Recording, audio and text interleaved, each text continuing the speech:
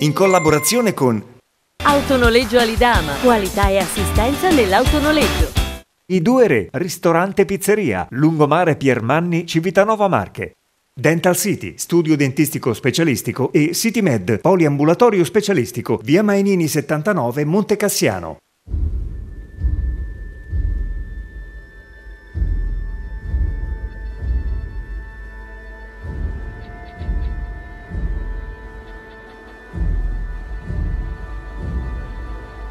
Grazie a voi tutti di averci seguito. Appuntamento alla prossima settimana.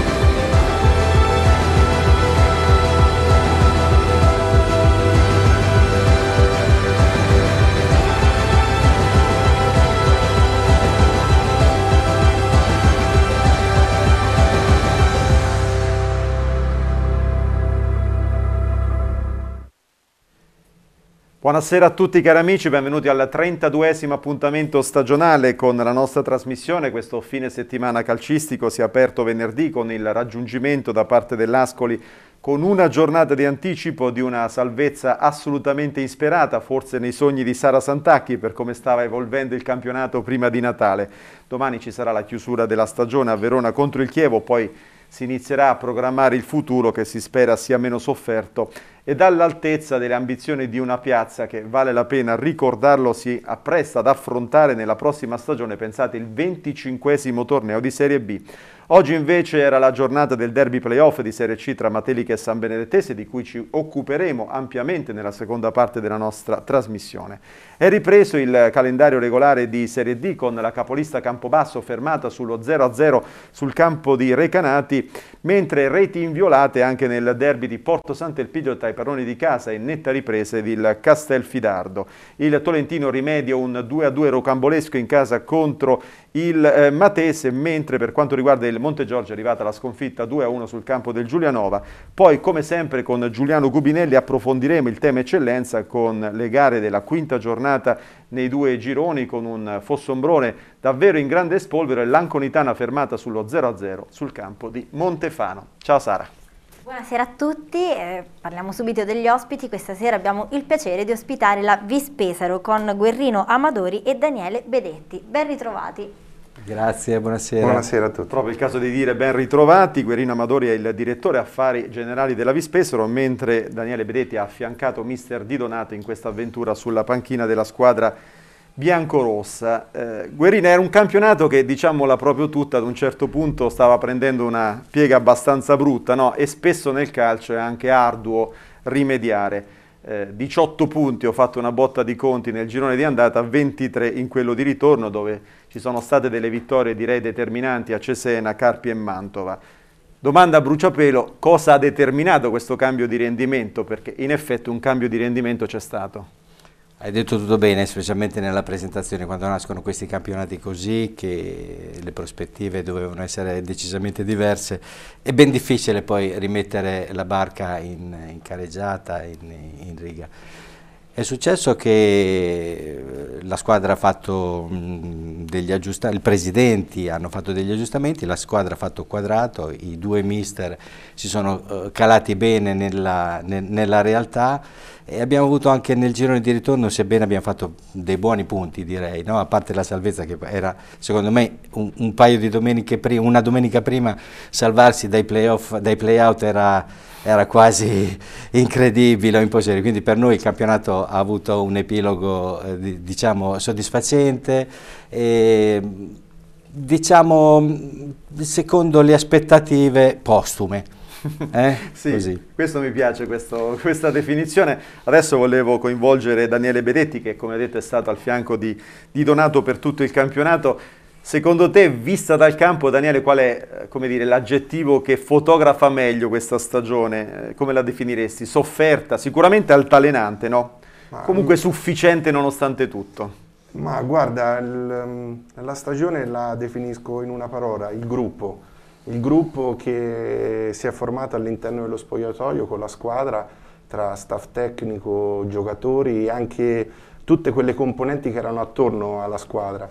Eh, dopo la sconfitta di Legnago lì è stata forse il punto un po' più basso anche della nostra gestione. Mi pare che era il quarto KO consecutivo, forse se non ricordo sì, male. Sì, era, era, un KO che comunque sì, era determinante dato che era una diretta concorrente, poi andavamo a meno 3, eravamo in completa zona play-out.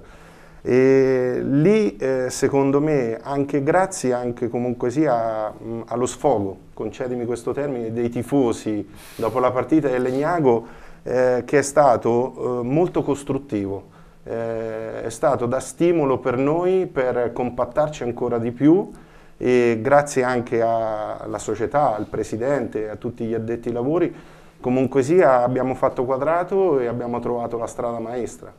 Rimango con te Daniele perché c'è una caratteristica che mi ha colpito eh, stamattina preparando un po' la trasmissione. Avete mandato a segno, se non eh, ricordo male, 16 giocatori differenti anche se poi ci ha messo un grande timbro Manuel Di Paola, arrivato da svincolato a novembre con sette reti e aggiungo io che reti, no? perché qualcuna è stata di notevolissima fattura. Tra l'altro molto bene anche il giovane e interessantissimo Cannavò, cinque reti, poi magari mi spendi anche due parole su di lui. Eh, è stata un po' questa prerogativa la vostra proprio tecnicamente, quella di mandare così tanti giocatori a bersaglio, una squadra in fondo di media e bassa classifica tra l'altro? Ma non avendo il, concedimi il termine, il bomber principe abbiamo fatto leva proprio sul gruppo. Il gruppo ogni partita eh, tutti quanti si assumevano le proprie responsabilità e poi eh, abbiamo un po' cambiato anche metodo di gioco perché mentre l'anno passato ad Arezzo adottavamo un 4-4-2 o come piace al mister dire 4-2-4 molto offensivo, qua comunque sia eh, insieme al mister abbiamo costruito un vestito adatto per questa Vispesaro che era un 3-5-2 molto offensivo e molto aggressivo che lavorava sulle seconde palle. Questo ha permesso a molti giocatori di arrivare dentro l'area avversaria e quindi di avere l'opportunità comunque sia di andare a segno. Cito semplicemente una rete di, di Cesena in cui crossava il quinto a destra Carissoni e faceva gol Nava che era il quinto a sinistra Diciamo, sì, che ricordo che arrivava sul secondo palo. Che no? arrivava sul secondo palo, sì, quindi sì, un po' il marchio di fabbrica che il mister ha voluto dare nel rush finale, perché poi nell'ultimo mese comunque sia siamo stati dietro solo esclusivamente alle prime della classe a livello di risultati. Eh, quindi ecco, è stata sempre il gruppo comunque sia, ribadisco sempre questa parola perché dentro lo spogliatoio l'abbiamo detta allo sfinimento. Mi spendi due parole per Cannavò. Io non vi ho visto mai giocare, siete forse l'unica squadra di Serie C che non ho mai visto dal vivo perché non ne ho avuto l'opportunità. Però qualche immagine di Cannavò mi ha colpito, insomma, veramente un ragazzo sveglio, insomma, una promessa, tra l'altro è un 2000, se non ricordo. È un 2000, sì, di proprietà dell'Empoli, è un prospetto molto interessante. Secondo me chi avrà la fortuna di averlo in rosa il prossimo anno sicuramente esploderà in questo campionato qua. Eh, ha vissuto un anno in cui c'erano tante difficoltà perché lottare per la salvezza comunque sia comporta tante difficoltà, però il ragazzo ha dimostrato carattere e soprattutto assumersi le responsabilità. E poi eh, consideriamo che si è guadagnato il posto da titolare in mezzo a giocatori importanti quali Gucci, Marchi, Germinale, eh, tutti gli addefeo, eh, comunque sia, cioè trovare spazio in mezzo a un parterre, a un gruppo di attaccanti così è molto importante. Forse Guerrini, il bomber, doveva essere Marchi, no? che era stato un po' il colpo estivo, mm, ha avuto diverse, diverse, molte vicissitudini questo giocatore quest'anno. Sì, è vero, però anche lui è stato vittima di, di, di, di, situazioni difficili. I giocatori per esprimersi bene al massimo devono avere la tranquillità.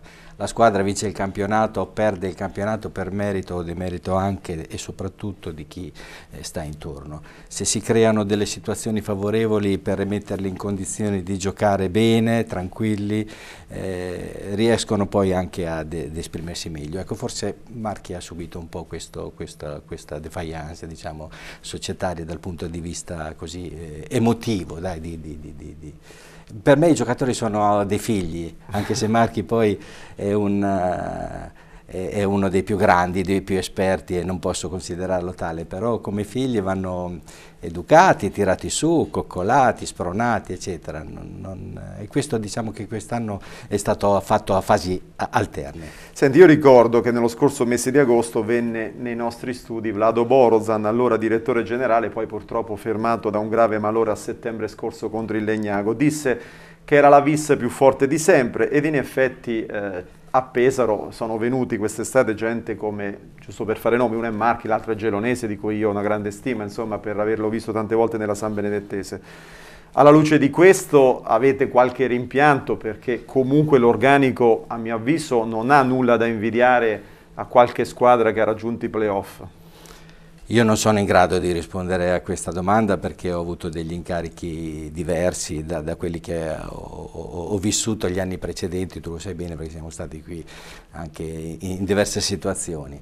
Eh, però diciamo che era un po' tutta la città che ci credeva a questa situazione, ricordo anche la presentazione che si fece, era all'insegna di, di, un campionato di, di, mh, ambizioso, diciamo così, però come spesso accade, io dico sempre è difficile vincere il campionato anche in terza categoria, in seconda. Questo no? sicuro. E ricordo il campionato della Ternana di due o tre anni fa quando noi siamo approdati in Serie C, no? che qualcuno provava a dargli to, dico ti diamo le chiavi della Serie B, non le giochiamo le partite che ricordi, no? che era e poi finì come finì. No? Quindi eh, sono una serie di componenti che quest'anno diciamo, non ci hanno sorriso, non sono andate bene delle cose, eh, ma l'esperienza no, no, accumulata... Eh, ripeto e sottolineo, eh, la piega era brutta, eh, soprattutto sì, dopo Legnago e anche dopo... dopo su dieci situazioni di questo genere si retrocede nove volte, capito? Per sì. cui, eh, è un bel campionato alla fine per noi, sotto tutti i punti di vista, per la salvezza, per il risultato eh, raggiunto una giornata prima, per man aver mantenuto questa categoria che ci dà la possibilità di lavorare ancora a, a determinati livelli, perché il Presidente rimane molto motivato, rimane sempre diciamo, al centro di tutte le nostre attenzioni, anche se lui è, è, è quello che ci dà eh, la sostanza prima, ma soprattutto le, le attenzioni proprio no, vicendevoli.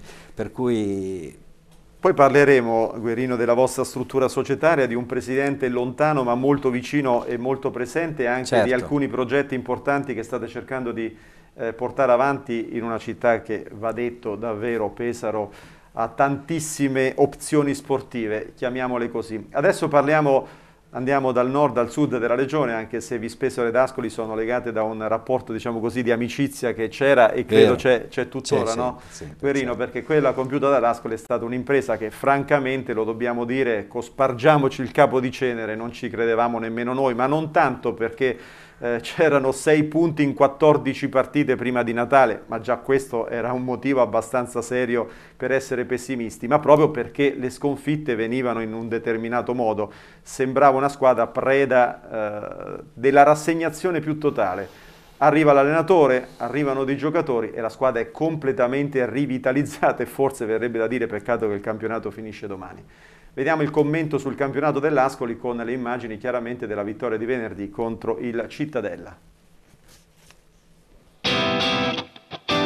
L'autonoleggio Alidama è il leader nel settore del noleggio a breve e lungo termine. La nostra flotta è costituita da utilitarie medie e alta gamma per aziende, privati e professionisti. Inoltre disponiamo di van, minivan, furgoni, furgoni frigo e pulmini 9 posti.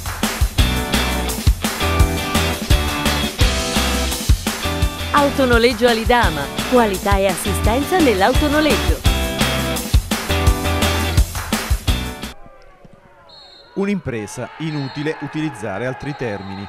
Impensabile per l'Ascoli ipotizzare la salvezza con una giornata di anticipo dopo aver accumulato 6 punti nelle prime 14 gare, ma non era solo la classifica che a quei tempi suonava come una condanna, era il trend di sconfitte che giungevano puntualmente dopo gare contraddistinte dalla rassegnazione ed un destino che appariva prematuramente segnato. Questo almeno sino all'avvento di Andrea Sottil, finalmente un allenatore motivato e di categoria dopo le deludenti esperienze per motivi comunque profondamente diversi con Bertotto e Delio Rossi. Ci ha creduto lui e ci ha creduto, va detto il patron Massimo Pulcinelli che ha rimesso mano al portafoglio, rafforzando un collettivo che dopo Natale ha innestato le marce altissime dalla vittoria interna con la Spal in poi. Quel gruppo, con il morale sotto i tacchi, vittima delle proprie paure, ha lasciato il posto ad una squadra ferocemente determinata, che avrà avuto anche alcuni passaggi a vuoto, ma che ha inanellato risultati roboanti, inaspettati e soprattutto grande con le grandi. Tutte, tranne la Salernitana, hanno pagato dazio di fronte alla sana rabbia agonistica dei bianconeri, dall'Empoli al Monza, dal Lecce al Brescia, piegati dalla grinta e dalla determinazione del picchio. Certo, direte voi, gli arrivi del mercato di riparazione, Federico Dionisi in primis, autentico leader e trascinatore, poi la qualità di Caligara, cresciuto tantissimo alla distanza, il dinamismo di Dorazio, le serpentine di Bidawi, ma altri hanno reso decisamente meno rispetto alle aspettative per fare qualche nome Stoian, Danzi e Parigini. Nei match decisivi, 9 undicesimi della formazione titolare erano giocatori che sono ad Ascoli da agosto. Morale del discorso, la squadra allestita in estate potenzialmente non era assolutamente da buttare con gli ingaggi di Sabiri, Baic, Kragl, Saric, Buche, Lavlonitis, eccetera. C'erano diverse situazioni da limare, ma soprattutto erano individualità da amalgamare e rivitalizzare dopo una partenza scioccante per mille motivi.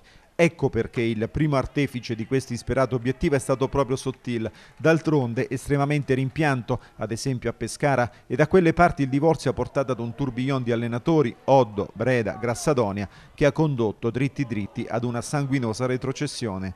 L'Ascoli è anche forte di esperienze recenti e deve custodire il tesoretto del mister e della spina dorsale della squadra. Da queste basi potrebbe nascere una squadra finalmente in linea con i sogni del popolo bianconero. E questa era la festa dell'Ascoli di cui ci occuperemo ampiamente nella trasmissione di domani Picchio Club, come sempre in diretta da Ascoli Piceno a partire dalle 20.50. Una domanda Daniele eh, sull'Ascoli, no? non so se tu eri tra i pessimisti oppure comunque coltivavi un filo di speranza, ma in effetti ad un certo punto della stagione era molto complicato essere ottimisti perché il trend era veramente disastroso. Allora, dell'Ascoli se ne parlava perché come tu ben sai eh, mister Daniele Di Donato è stato una bandiera dell'Ascoli, quindi all'interno dello spogliatoio parecchie volte si commentava comunque sia la situazione dell'Ascoli, questi risultati che erano altalenanti. Giudicare la stagione dell'Ascoli bisogna essere sempre all'interno, comunque sia per capire quali siano le problematiche. Oggi resta la felicità che comunque sia l'Ascoli ha mantenuto la categoria e quindi è sempre un punto di riferimento per la Regione Marche eh, dal punto di vista comunque sia delle, delle squadre che oggi ci sono. Quindi co, col mister si commentava solo esclusivamente i risultati e vedevo in lui qualche volta il dispiacere. Perché... Beh, mi pare, mm, Daniele, 207 presenze nell'Ascoli sì, dal 2007 sì. al 2013, sì, credo più o meno, quindi insomma è stata veramente una bandiera dell'Ascoli. Io mi chiedo anche come Di Donato da giocatore abbia così poco calcato i campi di Serie A, però questo è un mio pensiero. Ma eh, il, mister, il, mister, è una persona talmente schietta da un punto di vista e buona dall'altro, forse troppo buona da, sotto certi punti di vista che non gli ha permesso magari di calcare eh, palcoscenici ben più importanti. Mi eh, pare che sia, Daniele, non vorrei sbagliare, il terzo giocatore in assoluto per presenza in Serie B. Sì, sì, vero? Sì. Con più di 400 gettoni, sì, quindi... Un po' il rapporto che abbiamo io e lui quando è nata Iesi, è un rapporto, mi concedo, eh, paritario, cioè di confronto, poi naturalmente lui è il primo allenatore, quindi decide lui eh, le sorti, però all'interno dello spogliatoio quando ci si confronta è sempre costruttivo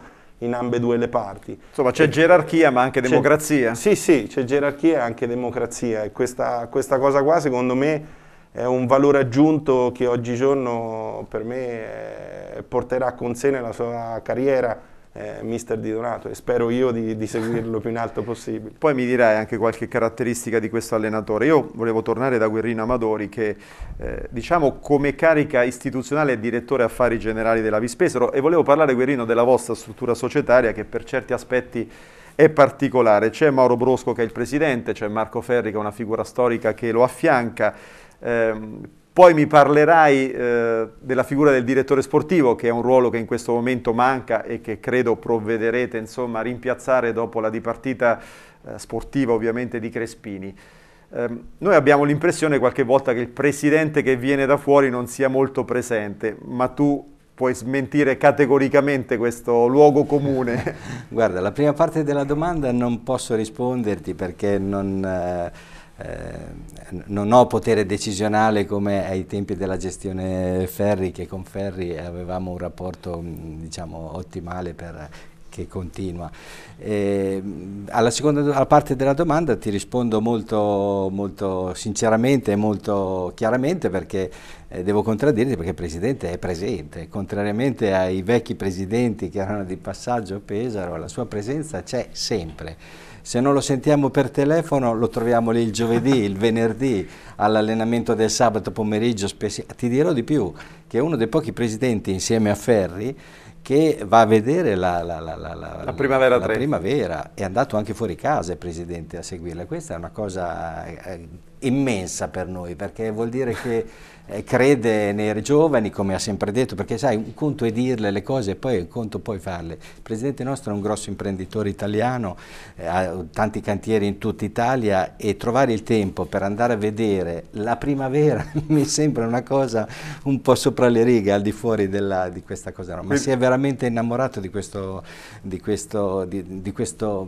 eh, di questo posto, chiamiamolo così. Non voglio chiamarlo progetto, non voglio chiamarlo eh, situazione, ma si è innamorato di questa città che dal punto di vista del supporto dei tifosi è calorosa, dal punto di vista de, dei dirigenti c'ha Ferri che ha un cuore grande come non lo so, eh, per tutte le sofferenze che ci siamo portati dietro, per tutti i successi che abbiamo raccolto. Una società sana anche dal punto di vista economico quando l'ha rilevata, eh, un settore giovanile fiorente, un progetto che adesso sta prendendo corpo sicuramente grazie a lui, ma se non altro però ti ricordi che ne avevamo parlato anche due o tre sì, anni fa. Poi ne parleremo in maniera più diffusa. No? E quindi ha tutte le componenti buone per far bene.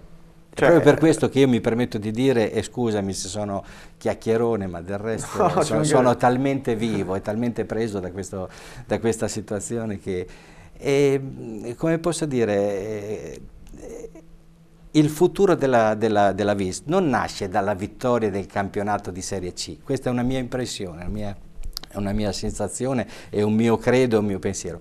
Nasce dalla costruzione delle basi e le basi sono le strutture, sono i campi, sono la città che è disponibile ad aiutarti, a starti vicino, ognuno per le proprie competenze e da lì il lavoro di tec tecnici bravi, professionali che tirano sui ragazzi che non, abbiamo, non dovremmo più aver bisogno di andare a prendere fuori. Il prodotto locale c'è, c'è stato, in Serie A ci sono tantissimi giocatori di Pesaro o dintorni della provincia. Anche eh, Sensi mi pare che abbia vinto il campionato con Beh, certo. mi pare che viene da Urbania. No? È di Urbino, sì. Non sto scherzando, non mi no, pare, no, lo so, lo so però non vogliamo parlare di Ambrosini, vogliamo parlare di, di, di, del mister dell'Atalanta, Gasperini, Battiso, ne abbiamo avuti tanti e ne avremo tanti perché la passione ce n'è da vendere, allora costruiamo le strutture e portiamo avanti. Insomma Mauro Brusca è un tesoretto da custodire Mario, gelosamente. Ma guarda, gli faremo un monumento io credo, solo che è giovane io non lo potrò vedere questo momento.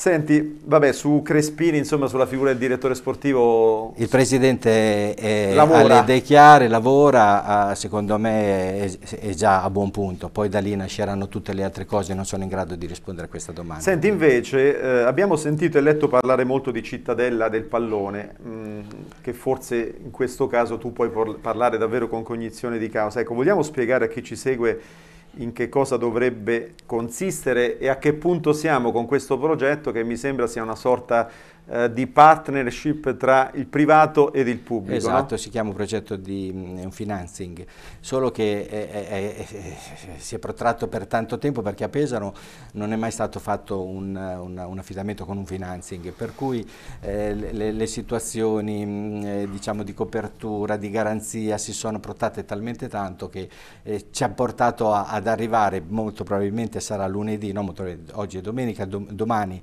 in Consiglio Comunale passerà questa, questo, questa, questa, questa, delibera, non, anche se sono un consigliere comunale non ho la terminologia dei politici perché non è cosa mia, eh, e quindi ci sarà un bando di concorso eh, ai quali potranno partecipare tutti e trascorsi i termini di legge si potrà assegnare al vincitore, all'assegnatario che dovrebbe essere, speriamo, ci auguriamo, uh, Mauro Bosco con, sue, con, sue, con, la sua azienda, a costruire questo, questo, centro. Il nostro progetto è già vivo, è già mh, presente, ne abbiamo già parlato, si tratta di rimettere mano, come già ti dicevo tre anni fa, alla, alla struttura di Villa Fastigi, due campi, un campo in sintetico e un campo misto, un altro campo a calcio a 5, poi altre strutture per il paddle, un ristorante, una palestra, tutto il centro dirigenziale. Ecco della, la base che dicevi, della, insomma. Esatto, è questo. Poi seguiranno altre cose, altre collaborazioni con altre società, sarà tutto un, un divenire, perché poi da lì parte, partiranno tanti altri progetti che coinvolgeranno le società di calcio e, e, e tutta la provincia, vedrai.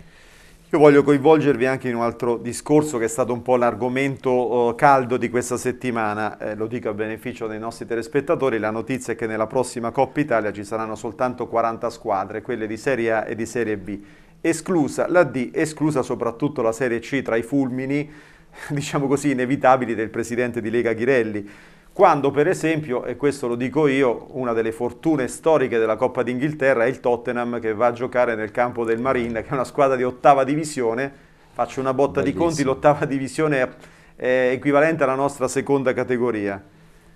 Un pensiero in merito su questo? Sarebbe una, una cosa stupenda, strepitosa, anch'io adoro questo genere di, di competizione, dovremmo, dovremmo, copiarla. Sì, perché porterebbe il calcio in tutta, in tutta la provincia italiana, non, non, parlo di quella pesarese, poi darebbe, sarebbero altri stimoli. È un po' l'esatto contrario della, della, della, Superlega. Della Superlega, esatto. Io, che è il calcio che ci piace. Così, no? È il calcio che ci piace. Io non so bravo, se tu hai bravo. visto proprio questa partita del Tottenham giocata a Marina, che era un sobborgo borgo di pescatori con tutte le villette attorno, tra l'altro è finita anche 4-0, 5-0, non è che è stata proprio una goleada certo, totale. Certo. Però portare il calcio veramente nelle frazioni è il fascino vero del calcio. Quindi io farei una Coppa Italia senza sorteggi dalla prima alla seconda categoria. Bravo. Per cui L'Atalanta un giorno potrebbe andare a giocare a Villa Fastigio, a Cattabrigo, o non Perché so no? neanche io, non so no? anch'io dove. Mm, questa esclusione, non so Daniele, tu da detto alle voli che pensi su questo? Io credo che stiamo privando dei sogni tanti ragazzini che vogliono fare i calciatori,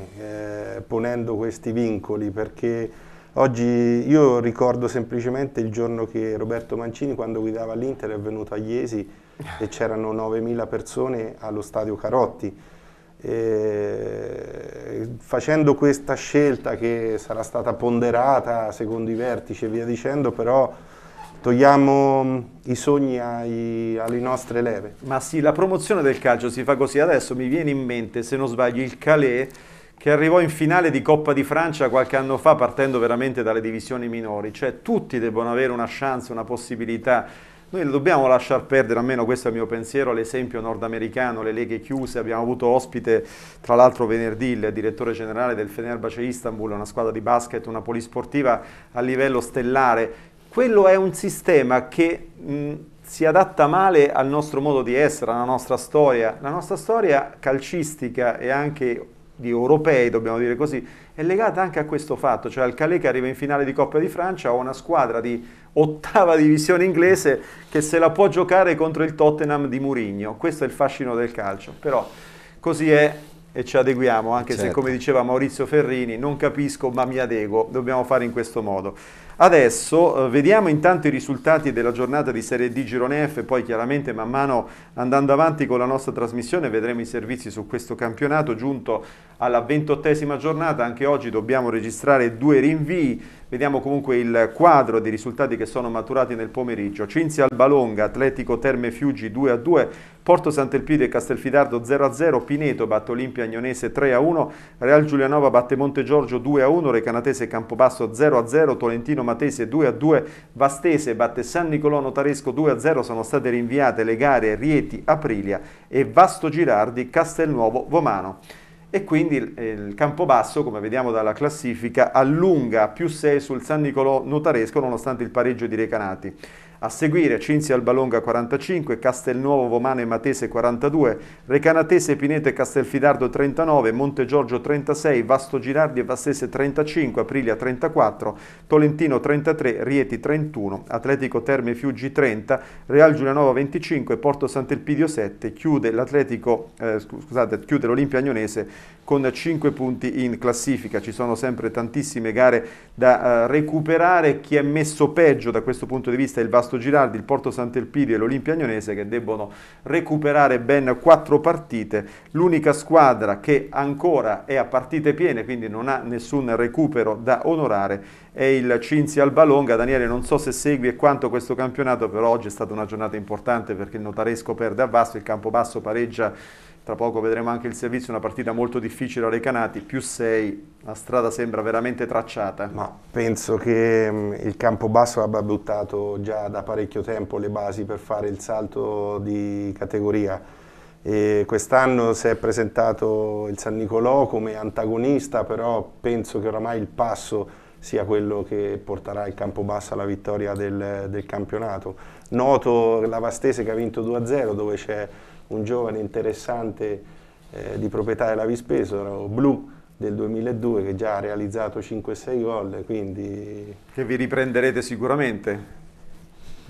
Quello questo, dovrei, eh, questo sicuramente sarà una no, no, domanda da porre Ho capito chi è, un ragazzo veramente sì, interessante. Sì, molto interessante, sì. tanto per rimanere in tema su giovani interessanti che comunque sia ci sono. Assolutamente sì. Allora, da un presidente all'altro, da Bosco a Massimo Pulcinelli, sentiamo la sua gioia, abbiamo un estratto delle sue dichiarazioni più importanti, veramente ha sofferto tantissimo Pulcinelli, ha rimesso, ripeto, mano al portafoglio perché eh, ha dovuto ridisegnare la squadra, io gli faccio un grande augurio, insomma, eh, di non ripetere certi errori in precedenza, di considerare questo tesoretto tra allenatore e giocatore che ha a disposizione per cercare di costruire una squadra all'altezza della grande tradizione bianconera. Sentiamo Massimo Pulcinelli.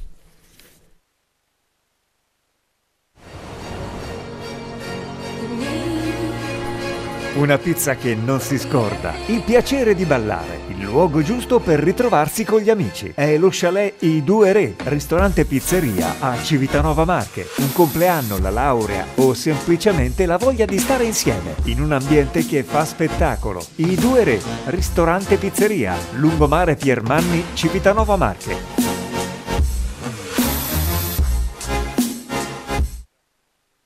Ah, io ho già ringraziato prima tutti i ragazzi, tutto, tutto lo staff, tutto il gruppo, tutto il popolo scolano, tutto, tutto il mondo intero. E ringrazio in modo particolare quelli che, che, ci hanno criticato perché sicuramente sono stati più stimolanti, quelli che ci hanno in qualche modo messo eh, voglia, la voglia maggiore di fare poi questo risultato. Ci hanno stimolato al punto giusto.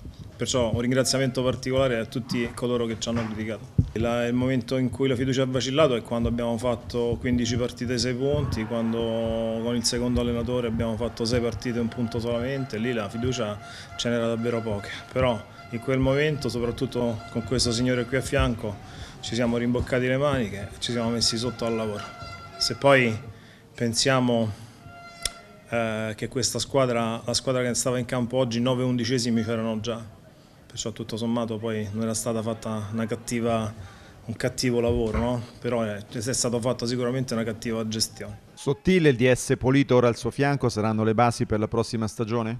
Credo di sì, non, eh, non c'è motivo per cui aver dubbio su questo concetto.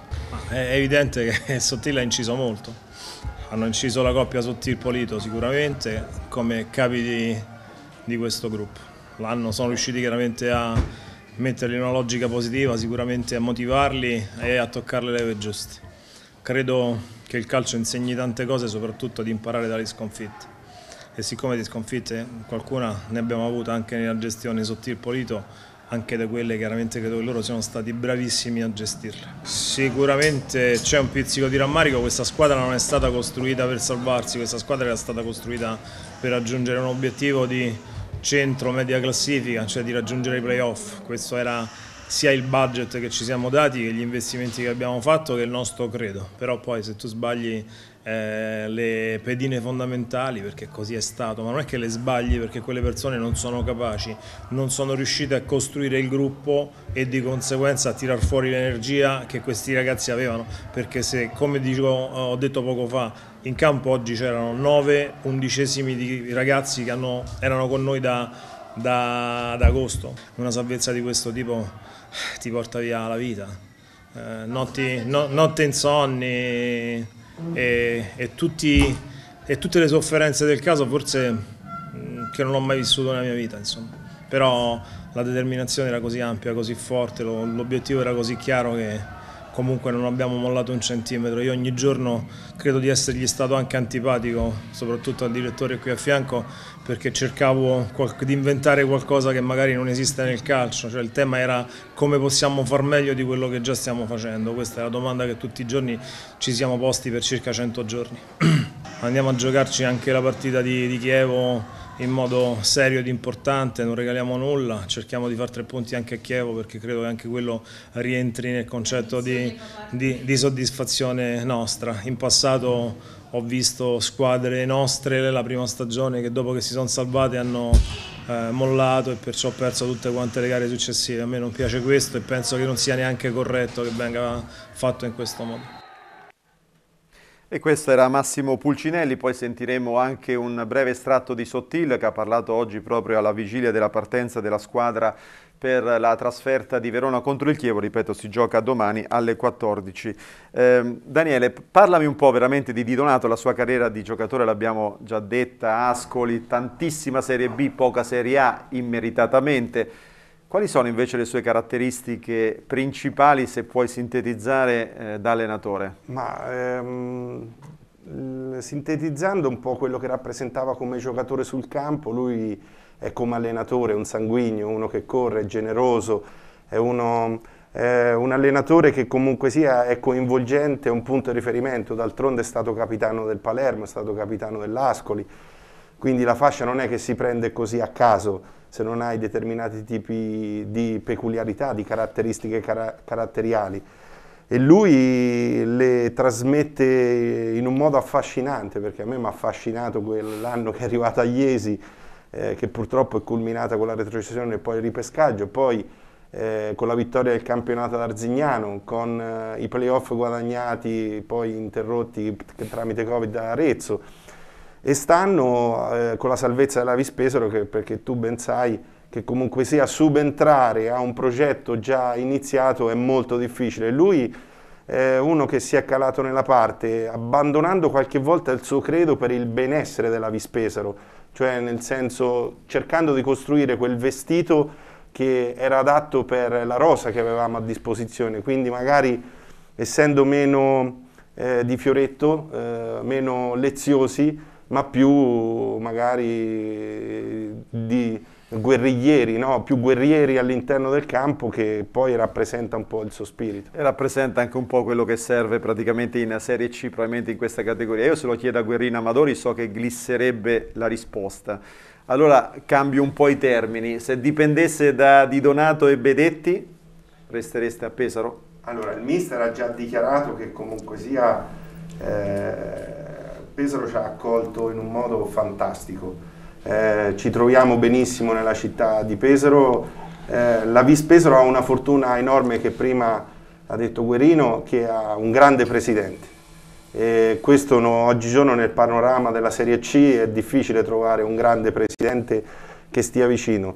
Eh, l'ha detto a più riprese il mister che gli piacerebbe comunque sia proseguire il percorso, però comunque sia oggi eh, la realtà dei fatti è che la Vispesaro ha un, un grande vantaggio rispetto a tutte le altre, che ha un grande presidente. Sono un po' ripetitivo da questo eh, punto di vista. Guarda che non, non fai eh, male perché, ripeto, non è semplice. Non, trovare... è per, non, è per, piaggeria, perché comunque sì, in questo momento non nascondo che anche altre società eh, comunque sì, hanno buttato l'occhio sul, sul mister. Eh, per un po' il percorso che ha fatto in questo momento. È naturale che da parte nostra ci sarebbe la volontà, però. Senti, mm, Cambiamo un attimo argomento perché sono anche partite le finali della Supercoppa di C. Ieri il Perugia, lo ricordo, ha battuto il Como 2-1. Ora i Lariani attenderanno la visita della Ternana per chiudere poi con il Super Derby al Liberati proprio tra la Ternana ed il Perugia il 22 maggio. Quanto secondo te Daniele l'ha vinto il Perugia questo campionato? Quanto l'ha buttato via il Padova? E condividi il mio giudizio, voi l'avete affrontata sette giorni fa, che nei playoff il Sud Tirol sia io credo davvero un osso molto molto duro da rodere per tutti? Se ti posso dire, il campionato l'ha buttato via il Sud Tirol. ah, tu hai questo perdendo a Trieste. Nel senso perché comunque sia nel, sì. nel, percorso che hanno fatto entrambe le squadre, il Perugia è stato il Perugia, il Padova ha avuto una flessione alla fine che comunque sia nell'arco di un campionato ci può stare. Il Sud Tirol ci ha avuto un match point eh, mostruoso a Trieste eh, e poi sono tre, tre, tre mh, società che comunque si hanno allestito non una rosa, non un 11 titolare, ma ne hanno 2,5 di, di, di, giocatori titolari a disposizione. E, il Padova mh, può recriminare che è stato sempre in testa, dispiace quello. Il Perugia eh, ha inseguito sempre, però ha dimostrato costanza e soprattutto fra le tre quella che a me, che comunque sia faccio anche il match analyst per il mister, è piaciuto molto di più come gioco il Perugia. Verino, tu che pensi? Non cambierei una virgola di quello che ha dichiarato perché sono d'accordissimo, il Sud Tirol era la squadra secondo me, sì sì, che poteva essere la, la, la, la regina diciamo il Perugia l'ha vinto anche un po' di mestiere, un po' di esperienza, un po' di, ci, ha, ci ha messo un po' di tutto questo, no? diciamo, nel, nello sprint finale. Però il suo tiro l'ha buttato via lui a Rimini, a, a, a Trieste. So che non mi amerete per questo, però io una domanda sui vostri cugini ve la devo fare. Come vedete questo doppio confronto con Limolese? Guarda, io penso che l'Alma abbia qualcosa in più. Ti, ti, rispondo... Mm, Diplomaticamente? No, no, assolutamente, okay. mi sbilancio. non, non mi interessa, io tifo Fano. Io tifo Fano perché... Sai mi, le mi, conseguenze mi, di... Mi, mi aspetteranno al casello dell'autostrada stanotte. Però ti fa perché il derby è il derby, ragazzi, cioè il derby è il derby. Prefer cioè, andare a Imola, non voglio togliere niente all'Imola, però voglio dire, non è la stessa cosa. No, vincere a Imola, vincere a Fano non è la stessa cosa. A Fano hanno fatto un bel campo, un bello stadio, le luci hanno montato, adesso che sono tutti pronti, no. Il Fano deve rimanere lì e dobbiamo continuare a giocarci derby. E mi assumo la responsabilità sana, di, di sana passione, di sano divertimento. Noi stiamo costruendo bene, lavorando bene. Oh, cominceremo a, a, perché nella classifica dei derby noi siamo un po' indietro. No, allora dobbiamo recuperare e se ci va via il Fano, noi facciamo. Dai, assolutamente assumi le responsabilità Mamma di quello mia, che hai detto. quando uscirò dall'autostrada. No, ma eh, d'altronde è veramente uno dei derby più caldi dell'intera regione, Beh, però vabbè, a Daniele Beretti devo chiedere un giudizio un pochino più tecnico. Secondo me l'Alma ha qualcosa in più, però certo parte anche con lo svantaggio del doppio pareggio che salverebbe Limolese. Allora, Limolese è stata un po' il campionato Limolese, un po' le montagne russe, no? C'erano periodi in cui vinceva due o tre partite, poi ritornava a perdere due o tre senza motivazioni. Quando noi l'abbiamo affrontata era, una, era una, una, squadra scarica, tra virgolette, noi eravamo troppo vogliosi in casa di raggiungere l'obiettivo. Eh, L'Alma, eh, quando l'abbiamo affrontata, l'ho visto eh, più equilibrata, con l'arrivo di Tacchinardi, forse anche per l'entusiasmo che ha portato il nuovo mister. E, eh, è difficile dirlo, anch'io spero che il Fano rimanga in categoria, ma soprattutto ri, ricollegandomi alla domanda dell'inizio no, della Coppa Italia, fuori quelle se ci togliamo anche queste belle partite... Assolutamente, assolutamente. Solo assolutamente. per quello. Assolutamente, insomma, il sale veramente del calcio. Oggi, come diceva Andrea Sottile, alla vigilia di Chievo Ascoli, domani alle 14, sentiamo l'intervista, 24 ricordo i giocatori convocati, non c'è il difensore Avlonitis, parte regolarmente Saric, ma probabilissimo il turnover. E allora sentiamo l'allenatore bianconero proprio alla, con un piede sul pullman praticamente prima di partire di, per la trasferta di Verona contro il Chievo di domani.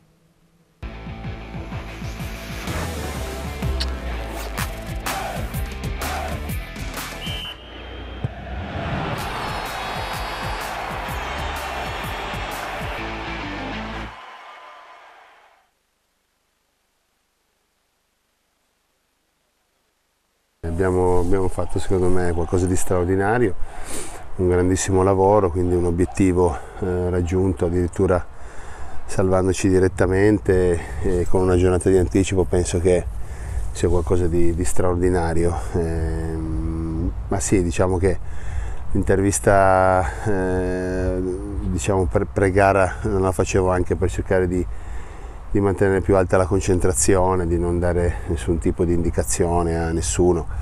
E poi c'è stata questa, questa cosa della scaramanzia, però ha portato anche bene, quindi va bene così, adesso siamo un po' più, un po più sereni, la, la facciamo. E andiamo a Chievo per, per, chiudere in bellezza, perché comunque è giusto così.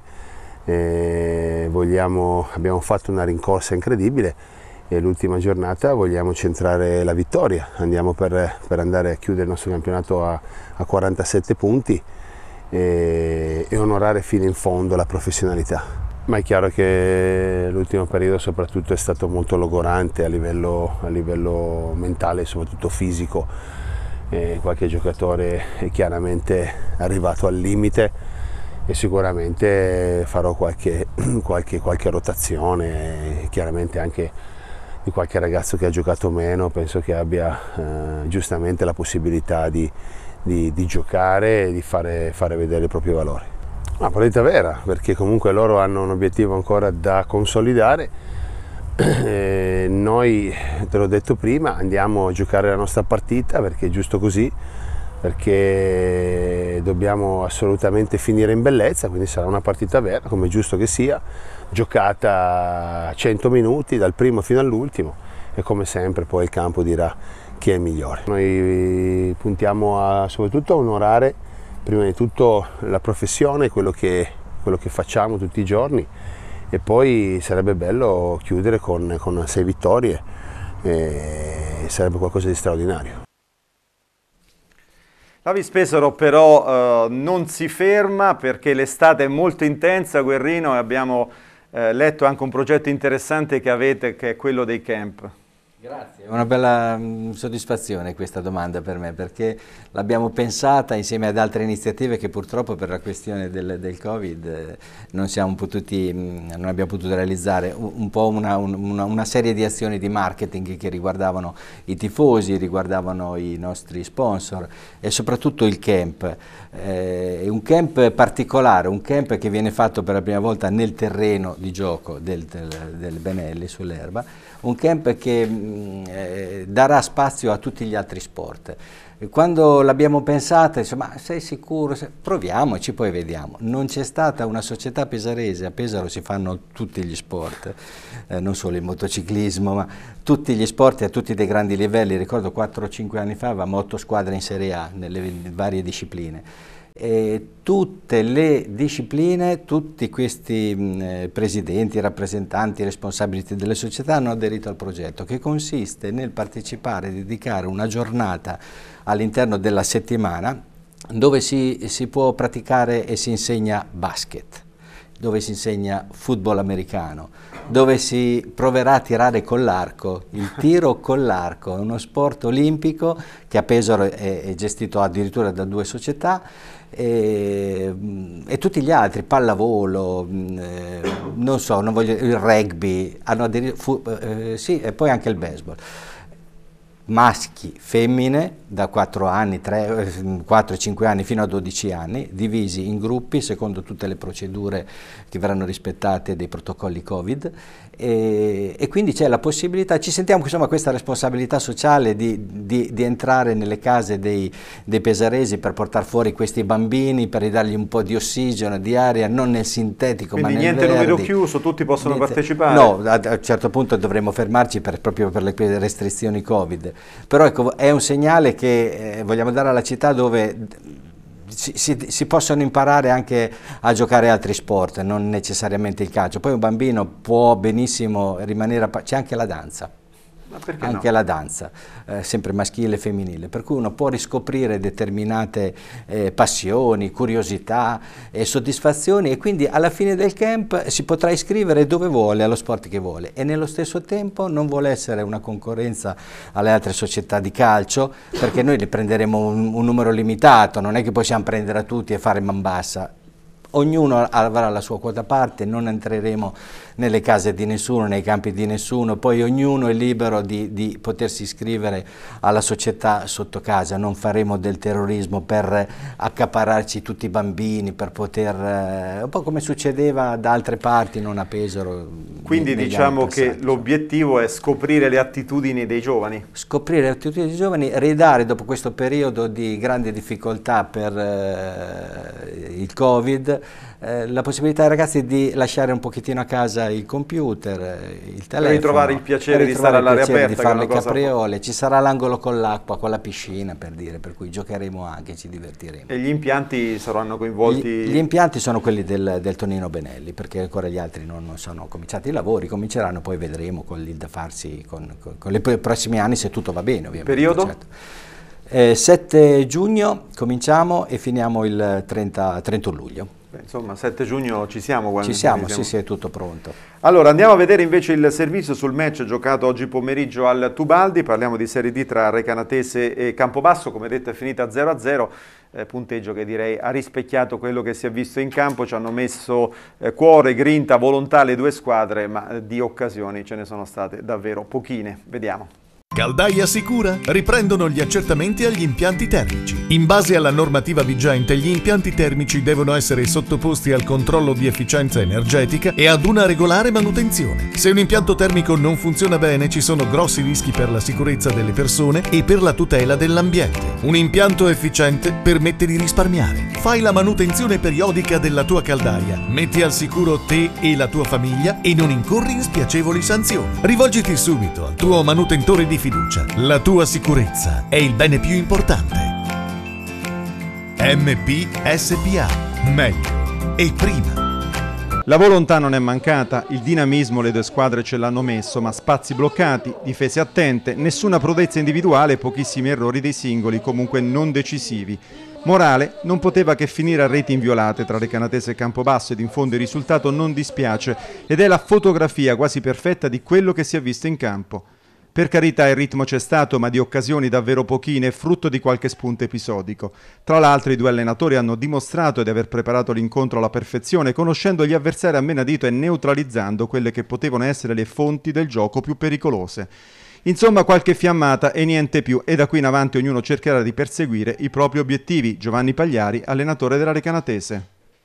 Eh, abbiamo provato in tutte le maniere perché eh, logicamente abbiamo abbiamo dovuto anche, anche, difendere, chiudere gli spazi, però i ragazzi sono stati incommiabili con un caldo veramente pesantino, però abbiamo combattuto fino alla fine, ci abbiamo avuto l'occasione anche con, alla fine con eh, Luca, un paio di, di tiri dalla distanza, eh, non ci sono state grandissime occasioni da gol, però sicuramente, sicuramente una buona gara. È un momento che stiamo facendo bene, logicamente sarebbe piaciuto seguitare la striscia di vittorie, però bisogna essere anche lucidi e non essere troppo presuntuosi perché la squadra sicuramente che abbiamo incontrato non era il Porto Sant'Elpidio, con tutto il rispetto al Porto Sant'Elpidio, questa è una grossissima squadra che vincerà il campionato. E noi sia all'andata che perdemmo su un calcio d'angolo alla fine. E sia oggi siamo stati alla pari, i ragazzi per me sono stati bravissimi, hanno dato tutto, anche i giovani che sono entrati alla fine, Alessandretti e Guercio hanno fatto molto bene, perciò di questo sono molto soddisfatto. Cronaca in pillole, decimo del primo tempo, l'attivissimo Ladu lavora un buon pallone al limite, appoggia per Cogliati, diagonale che sfiora il palo lontano dalla porta di Amadio. Diciassettesimo, verticalizzazione di sbaffo per un Liguori che sembra indiavolato, creando molti problemi a Vanzan, evitato dal Mazzi con un sombrero, conclusione però fuori misura. I molisani insistono sulla sinistra approfittando dei problemi di Togolà. Lungo lancio di Menna per Cogliati e la botta del centravanti da posizione defilata termina non lontanissimo dai pali. Al ventottesimo ancora Cogliati va via sulla fascia, cross basso e teso per Vitali che anticipa tutti e sfiora di un soffio il vantaggio. Poi più nulla sino all'intervallo e stesso copione con pochissime varianti nella ripresa. Affiora la stanchezza, i crampi fanno vittime, prima Donzelli, poi Candellori, ed allora ci si affida alle forze fresche. Ventottesimo, Senigagliese appena entrato si fa notare per un bello spunto che costringe Raccichini ad una respinta tutt'altro che semplice. Di Domenica Antonio al trentunesimo tocca il suo primo pallone e smarca Vitali che solo davanti a Rema Madio conclude in maniera non irresistibile ed il portiere giallo-rosso se la cava di piede. 33esimo, ancora senigallesi da lontano e stavolta, come si suol dire, la sfera fa davvero la barba al montante. Non succede più nulla, le squadre si adeguano ed in fondo per tutti va bene così. Mirko Cudini, allenatore dei Molisani che sapevamo che era difficile, quindi la Recanatese è proprio nel suo DNA e negli anni di Serie D ha sempre fatto organici importanti, quindi eh, quest'anno ha avuto l'incombenza di, di, fermarsi per il Covid e quindi ripartire strada facendo e quindi ha perso terreno, però ha una formazione importante, una rosa importante e non era facile far punti qua in questo momento della stagione per quanto riguarda loro, quindi venivano da tre vittorie consecutive.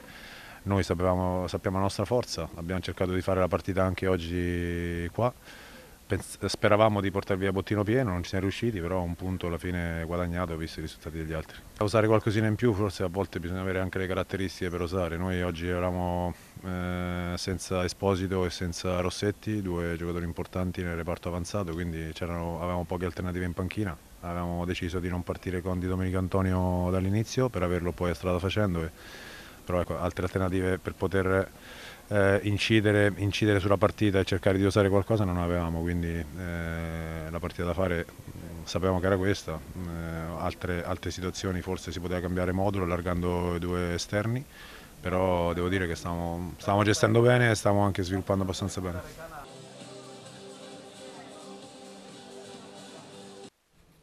E tra poco ovviamente vedremo anche il servizio sulla vittoria del Matelica che accede al secondo turno dei playoff di eh, Serie C Girone B dopo il successo contro la San Benedettese. Noi, eh, Daniele, ci siamo un po' finiti gli aggettivi per il Matelica. Voi gli avete reso la vita dura perché adesso mi viene in mente che gli avete tolto praticamente quattro punti perché avete vinto al Benelli, avete pareggiato all'Elvia Recina. Questa è una squadra però che non finisce di sorprendere, gioca con animo leggero e potrebbe togliersi secondo te anche altre soddisfazioni? Ma secondo me loro hanno già ampiamente centrato l'obiettivo che si erano preposti a inizio stagione, quindi arrivare a, questi, eh, a questo livello qua, vincere poi un, un turno di playoff e accedere al successivo turno eh, ci arrivano con spensieratezza e chissà che comunque sia, anche perché hanno tre là davanti che mi sembrano che si divertano a fare gol. Beh, insomma, voi avete mandato in gol tanti giocatori, il Matelica davanti con eh, Moretti, Leonetti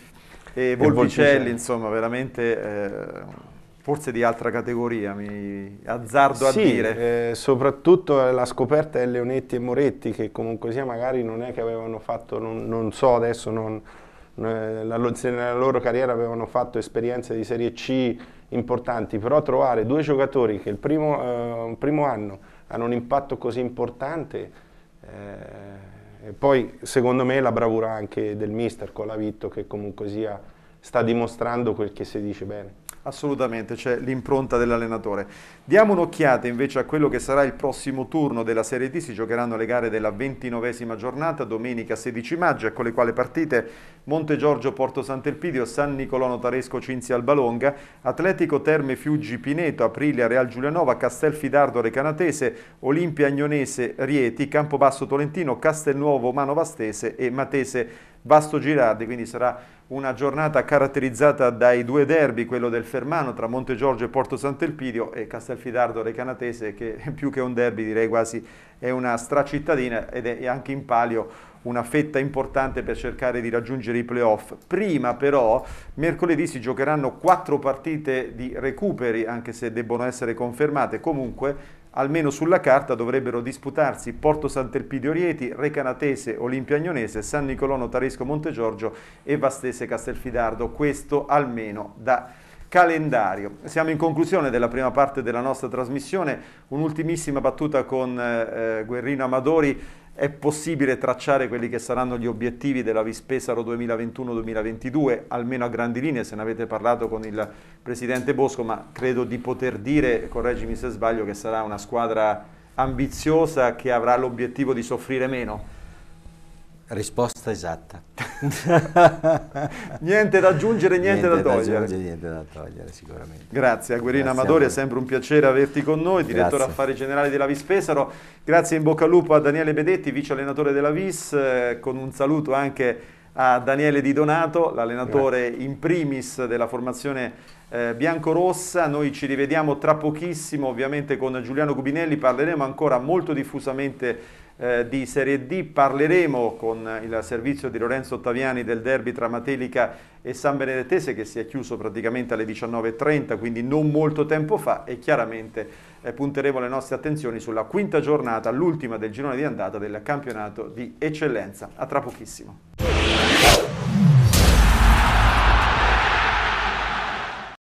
Cari amici e cari amiche delle Marche nel Pallone, buonasera, bentrovati e benvenuti a questa seconda parte del nostro programma che accade, avviene e a campionato di eccellenza attivo, operativo, vivo, vivido, in qualche caso anche vivace.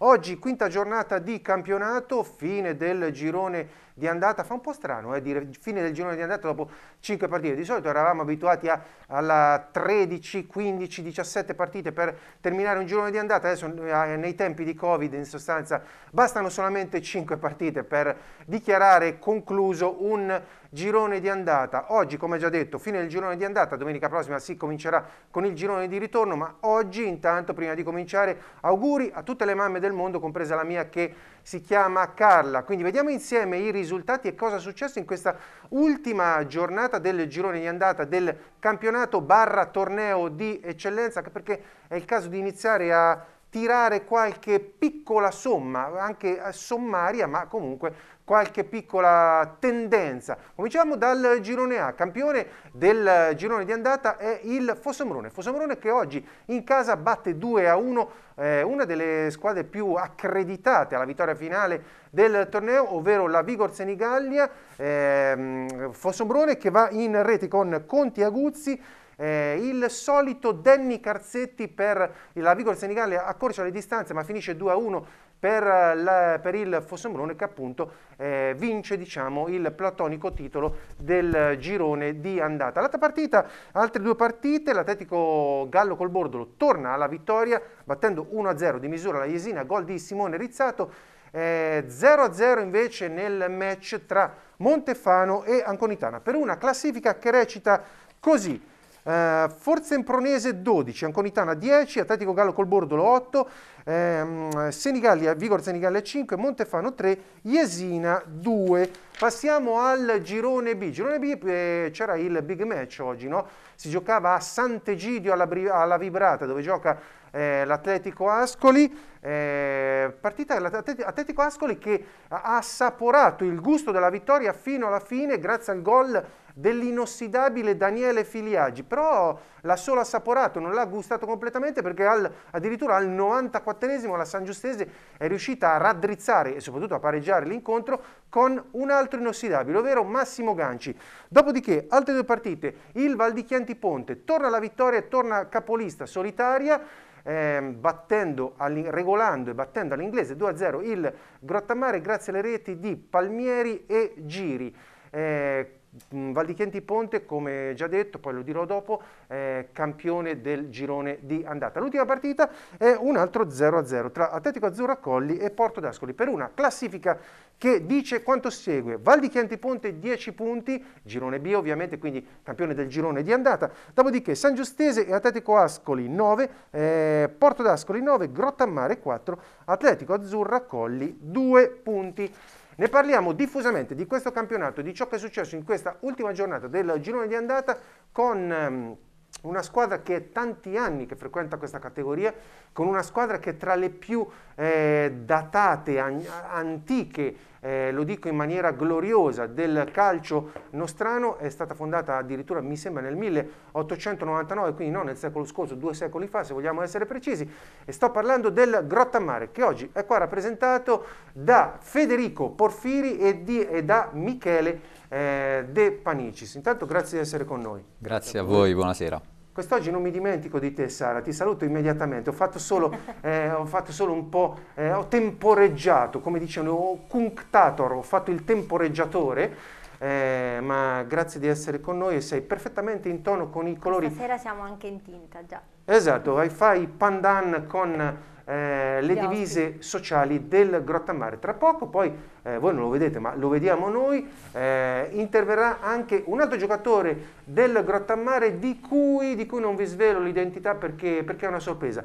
Però, però Sara, eh, devo, eh, prima di parlare del Grottammare, voglio, eh, non solo devo, ma voglio ringraziare la, la dirigenza e l'allenatore del Grottamare, con cui è stato davvero un piacere interagire e parlare di calcio durante la settimana. Sto parlando del direttore generale Alceo Gallier e eh, di mister eh, Massimiliano Zazzetta. Allora, adesso parliamo veramente di campionato, di calcio giocato. Allora, eh, Federico, oggi avete perso 2 a 0 in casa dell'attuale capolista, il Val di Chianti Ponte, che è tornato primo in classifica, lo era già stato mi sembra prima, le prime due giornate di campionato. Che partita è stata? Perché poi mi sembra che c'è un po' di rabbia, no? Perché è stata una partita, com'è stata?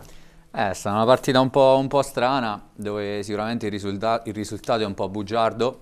Mm. penso che comunque abbiamo fatto una buona gara condizionata da un episodio un po' dubbio dopo, dopo, alcuni minuti di gioco, se non erro insomma intorno al ventesimo che comunque ci ha condizionato la partita perché eh, abbiamo preso un rigore, abbiamo subito un rigore con, con un'espulsione diretta, quindi sicuramente si è messa un chi, po' in salita. Chi è stato espulso? Eh, Mancini, un nostro difensore. Mm. E mm. di conseguenza comunque la squadra ha fatto vedere che, che c'è, ha reagito. Il secondo tempo abbiamo subito ancora un'altra volta un'altra espulsione e quindi ci siamo ritrovati Questa nove, volta chi è stato espulso? Carminucci. Carminucci che e... diciamo è di lungo corso, no? un giocatore certo. ecco, che sì. ha giocato anche in eh, categorie professionistiche. Nonostante ciò comunque abbiamo avuto diverse occasioni, anche in nove abbiamo dimostrato comunque che, che ci siamo, la squadra, la, squadra, è viva, abbiamo avuto diverse occasioni. Quindi avete abbiamo... subito un rigore o due rigori contro? Abbiamo subito due rigori, ah, di, ecco, cui uno, sì, ecco. di cui uno poi eh, fallito. fallito, ma eh, al di là di ciò sicuramente, almeno eh, a mio modo di vedere, ehm, il risultato è un po' bugiardo e, mm. ecco, abbiamo avuto comunque diverse occasioni. Michele, Poi... è davvero così bugiardo il risultato? Meritavate di più in questa partita? E diciamo... comunque in ogni caso che effetto vi ha fatto il Val di Chianti Ponte che comunque è tornato capolista del girone B e eh, sappiamo che è giro, la chiusura del girone di andata oggi, no? Sì, è indubbiamente un'ottima squadra, molto organizzata, gioca bene e diciamo che hanno dominato la partita ma per più merito nostro che loro, mm. visto che gli abbiamo concesso gran parte del campo essendo uno in meno come ha detto Federico, giustamente noi le nostre occasioni le abbiamo avute, dovevamo essere più cinici, eh, però è indubbiamente una grande squadra.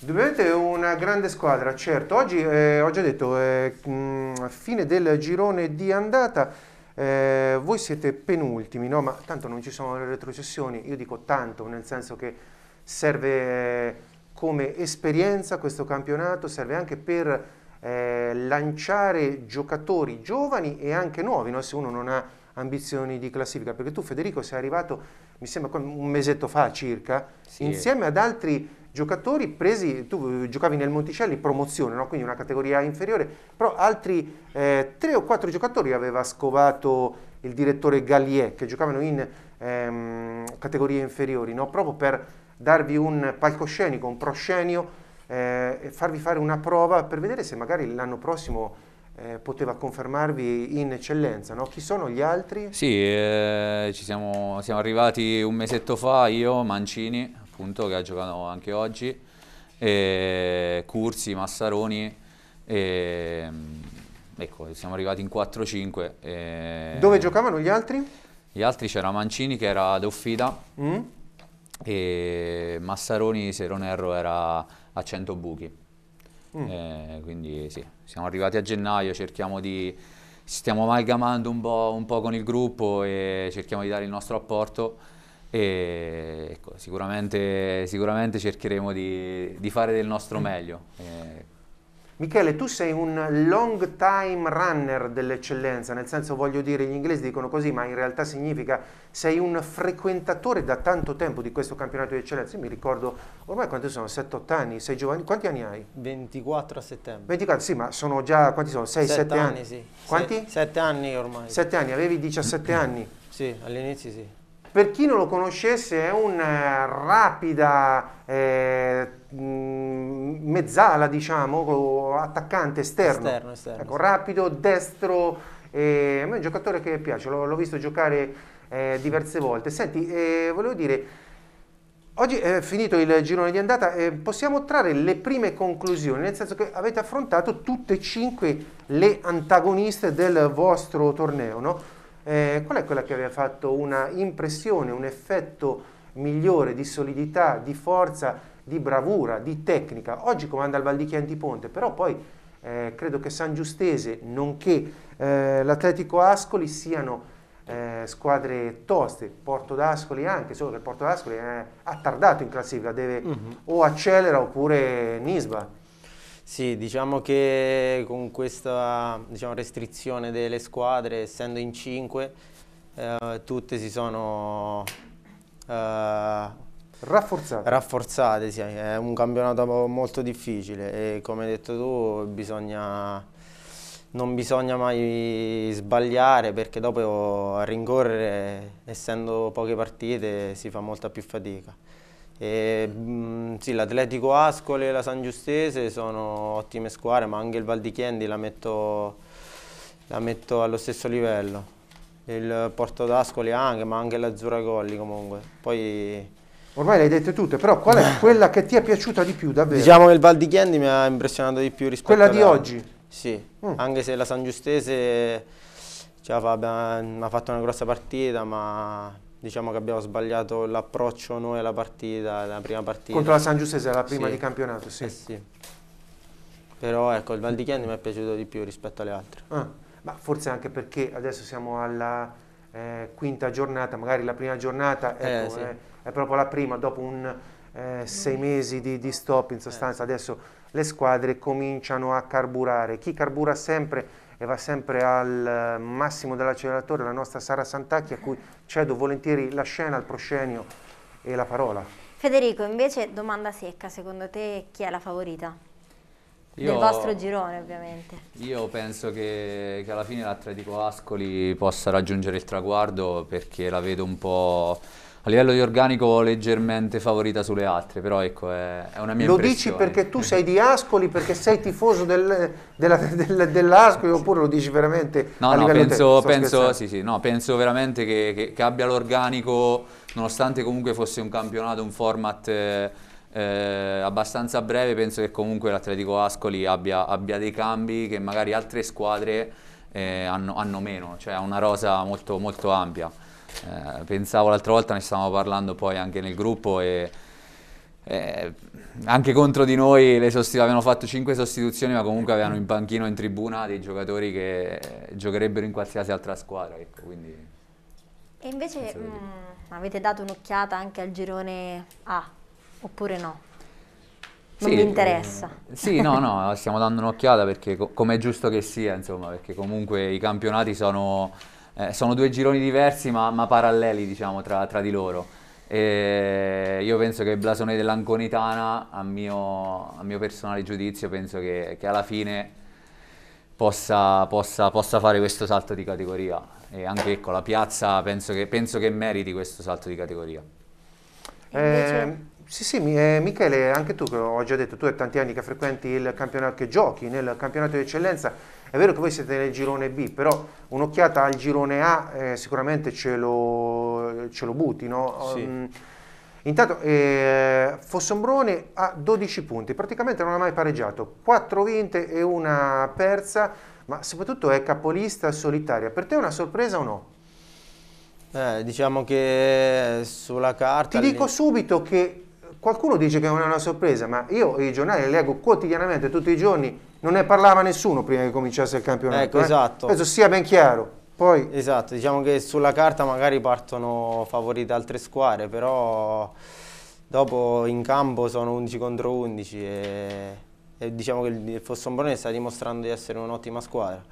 Noi abbiamo affrontato solo la Vigor Senigallia di, e la Jesina mi sembra mm. e la Vigor Senigallia in casa loro dopo la partita mi ha fatto un'ottima impressione, ha grandi giocatori e secondo me eh, può fare molto bene. Poi le altre, ecco, non avendole affrontate, non Però le hai affrontate lo scorso anno, no? Perché anche sì. il Fossombrone, l'Atletico Gallo col Bordo, ormai sì, sono eh, squadre... L'Atletico Gallo col Bordo, da quello che mi ricordo, comunque ha fatto sempre ottimi campionati, gioca molto bene e anche ha ottimi giocatori bene o male anche il Fossombrone gioca molto bene. Intervengo in un secondo. Certo, noi, certo, devi. In realtà, questo Giuliano, te lo ricordo, eravamo stati un po'... mm, avevamo invece pronosticato che il Fossombrone potesse essere, come dire, un po' la sorpresa del girone A, perché il nostro collega Claudio Marconi lo aveva messo addirittura insomma al pari dell'Anconitana, dicendo partendo senza i favori del pronostico, in realtà è una squadra che è stata ben costruita, viene dallo scorso anno in cui aveva vinto la Coppa eh, d'Eccellenza, per cui noi nei nostri Mm. studi avevamo messo sicuramente in pole position anche il Fossombrone. Hai fatto bene Per a onor ricor- di cronaca. Hai fatto bene a ricordarlo perché notoriamente non è che sono dotato di grande memoria, beh, mi fa piacere che, eh, che hai citato il collega Claudio Marconi. Fine del girone di andata, sono state giocate solamente 5 partite, adesso la domenica prossima ci aspetta la seconda parte del campionato dove ovviamente qui non, proprio- non ci sarà più proprio la, la gara di appello, no? perché eh, l'andata già sono poche partite, adesso c'è il ritorno, altre 5 partite, poi si andrà dritti ai playoff, eh, anzi alle semifinali dei playoff e poi alla finale. Quindi in, ehm, oggi, eh, quinta giornata del girone eh, di- del, del torneo di eccellenza, sono solamente 8 le reti messe a segno, ben lontano dal record della settimana scorsa, quando ne furono messe a segno ben 17. Eh, sono state 8 reti eh, equamente divise, 4 nel girone A, 4 nel girone B, quindi c'è parità anche qui. Anche qui una giornata proprio piena di simmetrie, perché ci sono state su 6 partite 3 vittorie e 3 pareggi. Queste 3 vittorie sono venute solamente tra le mura amiche. Si è sbloccata un po' però la classifica dei cannonieri che eh, fino alla settimana scorsa portava tanti giocatori a quota 2, adesso si è sbloccata perché abbiamo tre giocatori a quota 3, uno nel girone B e due nel girone A. Quelli del girone A sono Massimo Conti della Forza Empronese e Danny Carzetti della Vigor Senigallia che hanno siglato tre reti, quindi sono i bomber del girone A e Federico Palmieri che purtroppo per il Grottammare è, è a tre reti nel girone B. Infatti prima eh, mi ricordavo no, di aver detto il solito Danny Carzetti, proprio perché mi ricordavo di averlo già inserito nella, nella classifica dei cannonieri della Vigor Senigallia che eh, è nel girone, mh, nel girone A di eccellenza. Allora, andiamo avanti con i servizi. Eh, andiamo in Serie D, andiamo in Abruzzo, a- esattamente a Giulianova, dove il Giulianova ha battuto 2-1 il nostro Monte Giorgio con le reti di Tedone Barlafante che aveva già segnato contro altre squadre marchigiane per i marchigiani, per il Monte Giorgio, rete della bandiera di eh, Omiccioli. Ci vediamo in servizio, poi siamo ancora di nuovo qua con gli ospiti del Grottammare.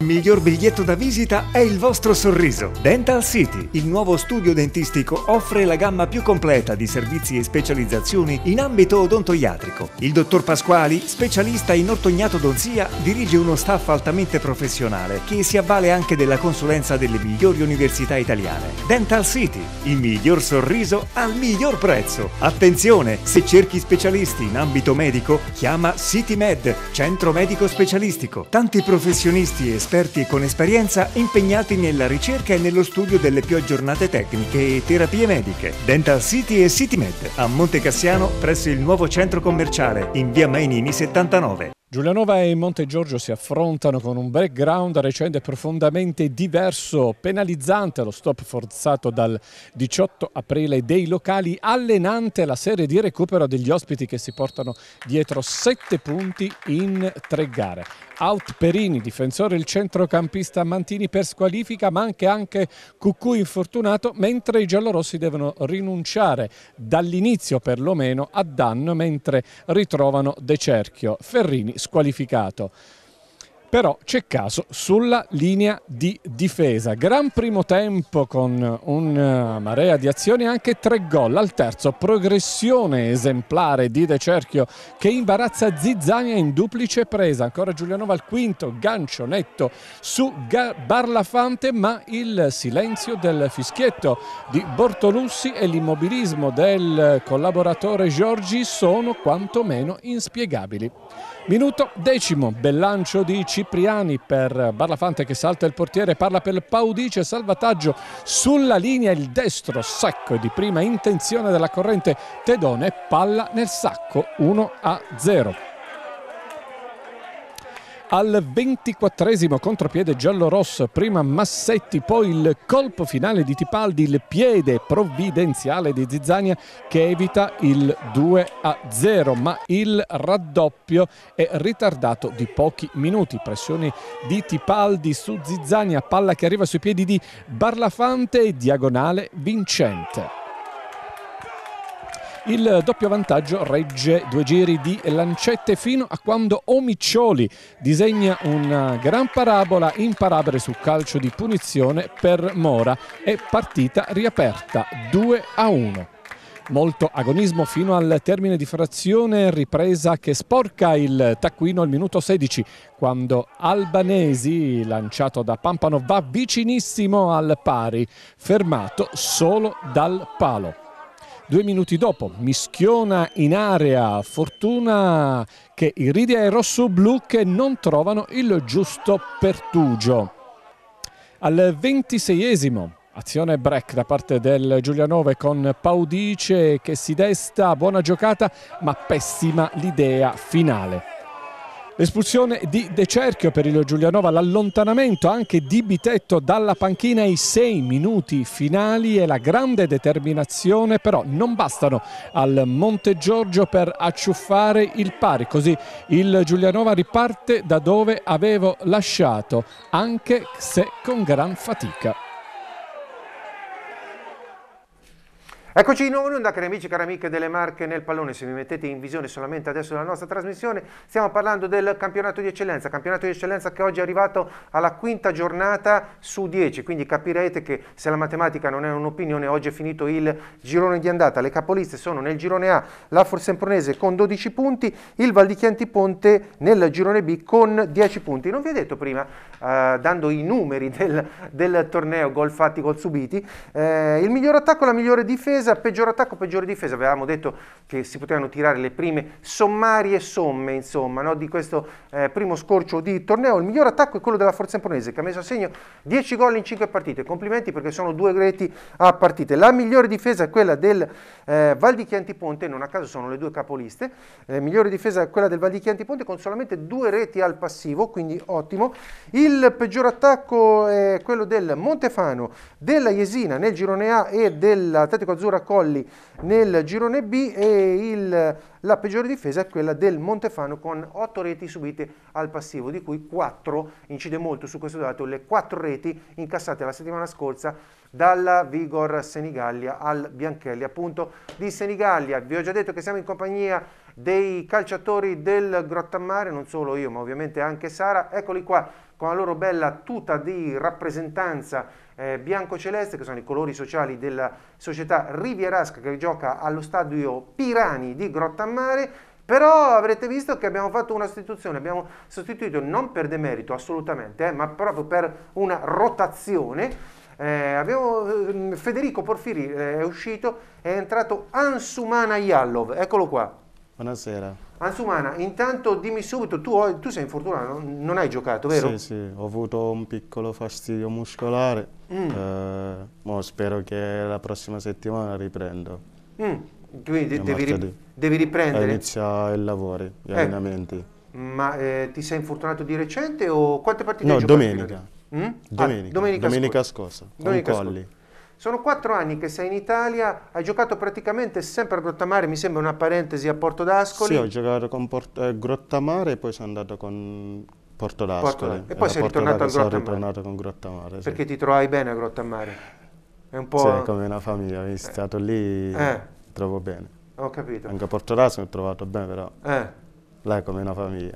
Però io voglio dire a tutti e due, perché qui abbiamo due attaccanti, anche Porfiri tra l'altro è un attaccante, però abbiamo due attaccanti, eh, eh, Ansuana Yallov e Michele De Panicis, manca il bomber Giorgio Galli, giusto? Sì. Ha giocato oggi o è infortunato? Ha giocato, ha giocato. Eh, quindi, Però Porfiri non è un attaccante. Porfiri non è un attaccante, d'accordo ragazzi, è, è vero, lo ammetto, Porfiri... No, perché poi ci tengono, sai com'è tra di loro. Quindi... Porfiri purtroppo non, non, non, non, posso vedere giocare tutti i giocatori eh, dell'eccellenza, purtroppo mi manca, mi manca, mi manca Porfiri, però è, è stato un piacere eh, mentre stava qua con noi.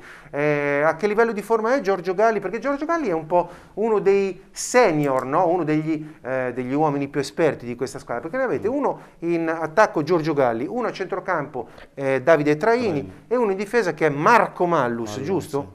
Che, eh, che, aiuto, che valore vi dà giocare con giocatori così esperti che hanno giocato anche in categorie superiori? E c'è tanto da imparare. Mm. Soprattutto io all'attacco, Galli mi, mi, insegna tante cose. Mm. Con lui sto migliorando tanto.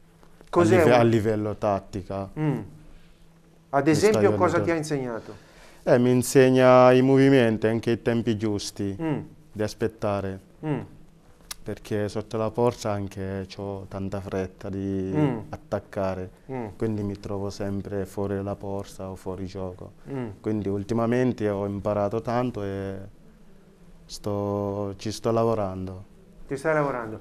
Eh, volevo dirti un'altra cosa, mm, eh, Michele. Eh, poi vabbè, in estate no, avete ripreso Carminucci. Senti, eh, chi ti ha, sorpre- ti, ti ha, sorpreso qualcuno del tuo girone, l- qualche squadra rivelazione per adesso? E se nel vostro campionato che avete ehm, giocato fino adesso, se c'erano delle occasioni in cui potevate prendere di più, siete stati sfortunati oppure magari quando avete preso magari più di quello che meritavate?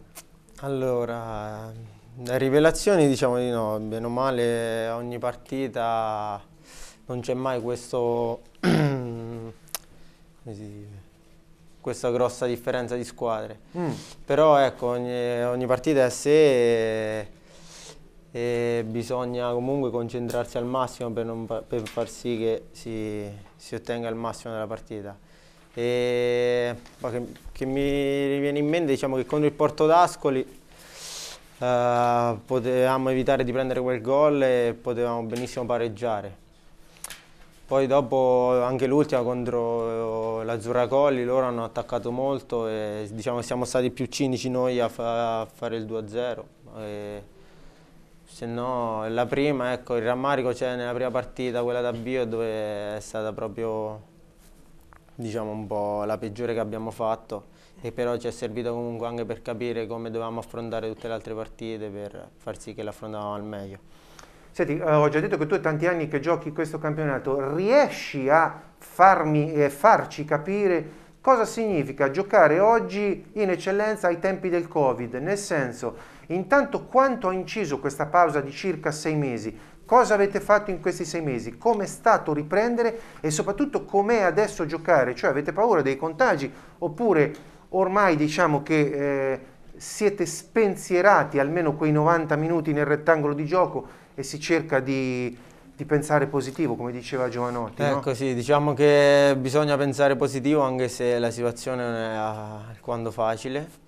E durante i mesi di stop siamo stati fortunati ad avere un grosso staff alle nostre spalle che ci ha organizzato eh, un grosso lavoro per casa dove abbiamo svolto dei lavori a casa. E poi durante la ripresa è stato difficile allenarsi divisi in due gruppi, fare solo i lavori di forza senza palla, diciamo che è stato abbastanza complicato, però ecco dopo la voglia di ripartire era tanta, ci sono state pure persone che comunque non, non se la sono sentita di riniziare per i propri motivi, però ecco la, la voglia era tanta e ecco si gioca spensierati, però c'è sempre quella preoccupazione che ci tiene sempre allerta. Tu, tu vuoi dire comunque No, che... in generale il calcio dico, ne, nella no, società. No, tu, tu, volevi dire che comunque la, il Grottammare in quanto società vi è stata molto, molto vicino vicino, perché, certo, certo, non ci ha fatto mai mancare nulla. Sì. Perché è una società molto organizzata, sì, infatti vorrei anche citare eh, a, a, ulteriore eh, complimenti per eh, la società del Grottammare che il Grottammare è scuola calcio elite, che è un riconoscimento che viene dato eh, a chi si distingue per un livello pedagogico, educativo e didattico di elevata qualità alla presenza di istruttori che hanno frequentato i corsi delle scuole calcio del settore giovanile, ovviamente della FIGC. Tocca a me. Sara. Michele, una domanda eh, non semplice, ma ce la farai sicuramente. Dunque, quest'anno in, in questo nuovo format del torneo di eccellenza non ci saranno retrocessioni. Qualcuno ha iniziato, dire, a mm, ipotizzare che, eh, vista la mancanza di obiettivi di alcune squadre, come potrebbe essere quella del Grottammare, a un certo punto il campionato potrebbe essere falsato. Tu oggi sei qui e puoi rispondere a questi malpensanti. No, dai, assolutamente no. Diciamo che ognuno è partito con l'obiettivo di comunque fare il proprio meglio e vincere, perché alla fine il campionato è corto, le partite sono poche e può succedere di tutto. Diciamo che non c'è... Potevamo, noi siamo partiti con l'obiettivo quello di migliorare sempre di più per il futuro, ma comunque non ci siamo posti limiti. Quello che viene, viene e giochiamo tutte le partite per vincere alla fine. Anche se eh, potremmo essere fuori dall'obiettivo playoff, ma comunque non venderemo sempre cara alla pelle. Ecco. Era giusto dare una testimonianza da parte di una delle squadre che magari non ha come obiettivo la vittoria. Sì, sì, ma eh, tra l'altro un'altra testimonianza la vorrei sapere da Ansumana, perché Ansumana Yalov, non ve l'ho detto, che è eh, di origine gambiana, siamo nella- nell'Africa, eh, guardando la, la- la cartina del- dell'Africa eh, a ovest, no? diciamo che sta sulla sinistra, il Gambia, proprio perché mi è venuto in mente che in settimana in UEFA League eh, Mister Fonseca, allenatore della Roma, ha fatto esordire, mi sono visto proprio l'intervista di Ebrima Darbo, eh, che si è cavata veramente molto bene davanti alle telecamere, ha raccontato la sua storia di eh, immigrato con un, diciamo, con un barcone, no? era andato dal Gambia, era arrivato in Libia, poi è arrivato in Italia, eh, ha giocato nel Rieti, nelle giovanili del Rieti, eh, affidato a una casa famiglia, fin tanto che è arrivata alla Roma. Tu sei quattro anni che, sono quattro anni che sei in Italia, là in Gambia già giocavi a calcio, com'è la situazione del Gambia? Sì, giocavo a calcio. Eh, Co- co- come... Ho giocato in mia città, Mm? tipo qua diciamo che in Serie D. Mm? Poi lì facevo capitano, non facevo manco Co- attaccante si, 100 chia- come si chiamava questa scala? Questa... Tange. Tangi? Tange, sì. Ta- Tangi o Tange? Tange. Tange, con la E? Cioè, con la EH. Ah, Tange, ok. Sì. Poi lì giocavo, ero capitano, Mm? poi facevo secondo punta, Mm? poi da lì uscivo sempre a giocare. Mm? Quindi lì andavo a scuola a giocare, andavo a scuola a giocare. Bene. Questo è l'unica cosa che facevo. Quanti gol segnavi? Quando... Eh. Tanti? Tanti, qui sì, di meno, qui di meno. E qui di meno perché faccio fa gol ai miei compagni. Ecco, te la sei cavata bene, ottima risposta. Allora, abbiamo parlato di Grottammare, finalmente vediamo il Grottammare, purtroppo nella sconfitta che oggi ha avuto ah, contro il Val di Chiantiponte, ribadisco, capolista solitaria del girone B di eccellenza e, tra virgolette, campione, diciamo, del girone di andata. Ci vediamo in servizio, poi siamo di nuovo qua. Al Comunale di Villa San Filippo va in scena la quinta giornata del campionato di eccellenza 2020-2021 Girone B. Si affrontano Val di Chiantiponte e Grottammare, i padroni di casa terzi in classifica a meno uno dal primato cercano di approfittare dello scontro diretto tra le due capoliste Atletico Ascoli e San Giustese per guadagnare ulteriormente posizioni. Dall'altra parte il Grottammare reduce dalla prima vittoria stagionale 2-0 all'Atletico Azzurra Colli. I rivieraschi arrivano qui a Monte San Giusto con il morale molto alto a caccia del primo acuto lontano dalle mura amiche del Pirani.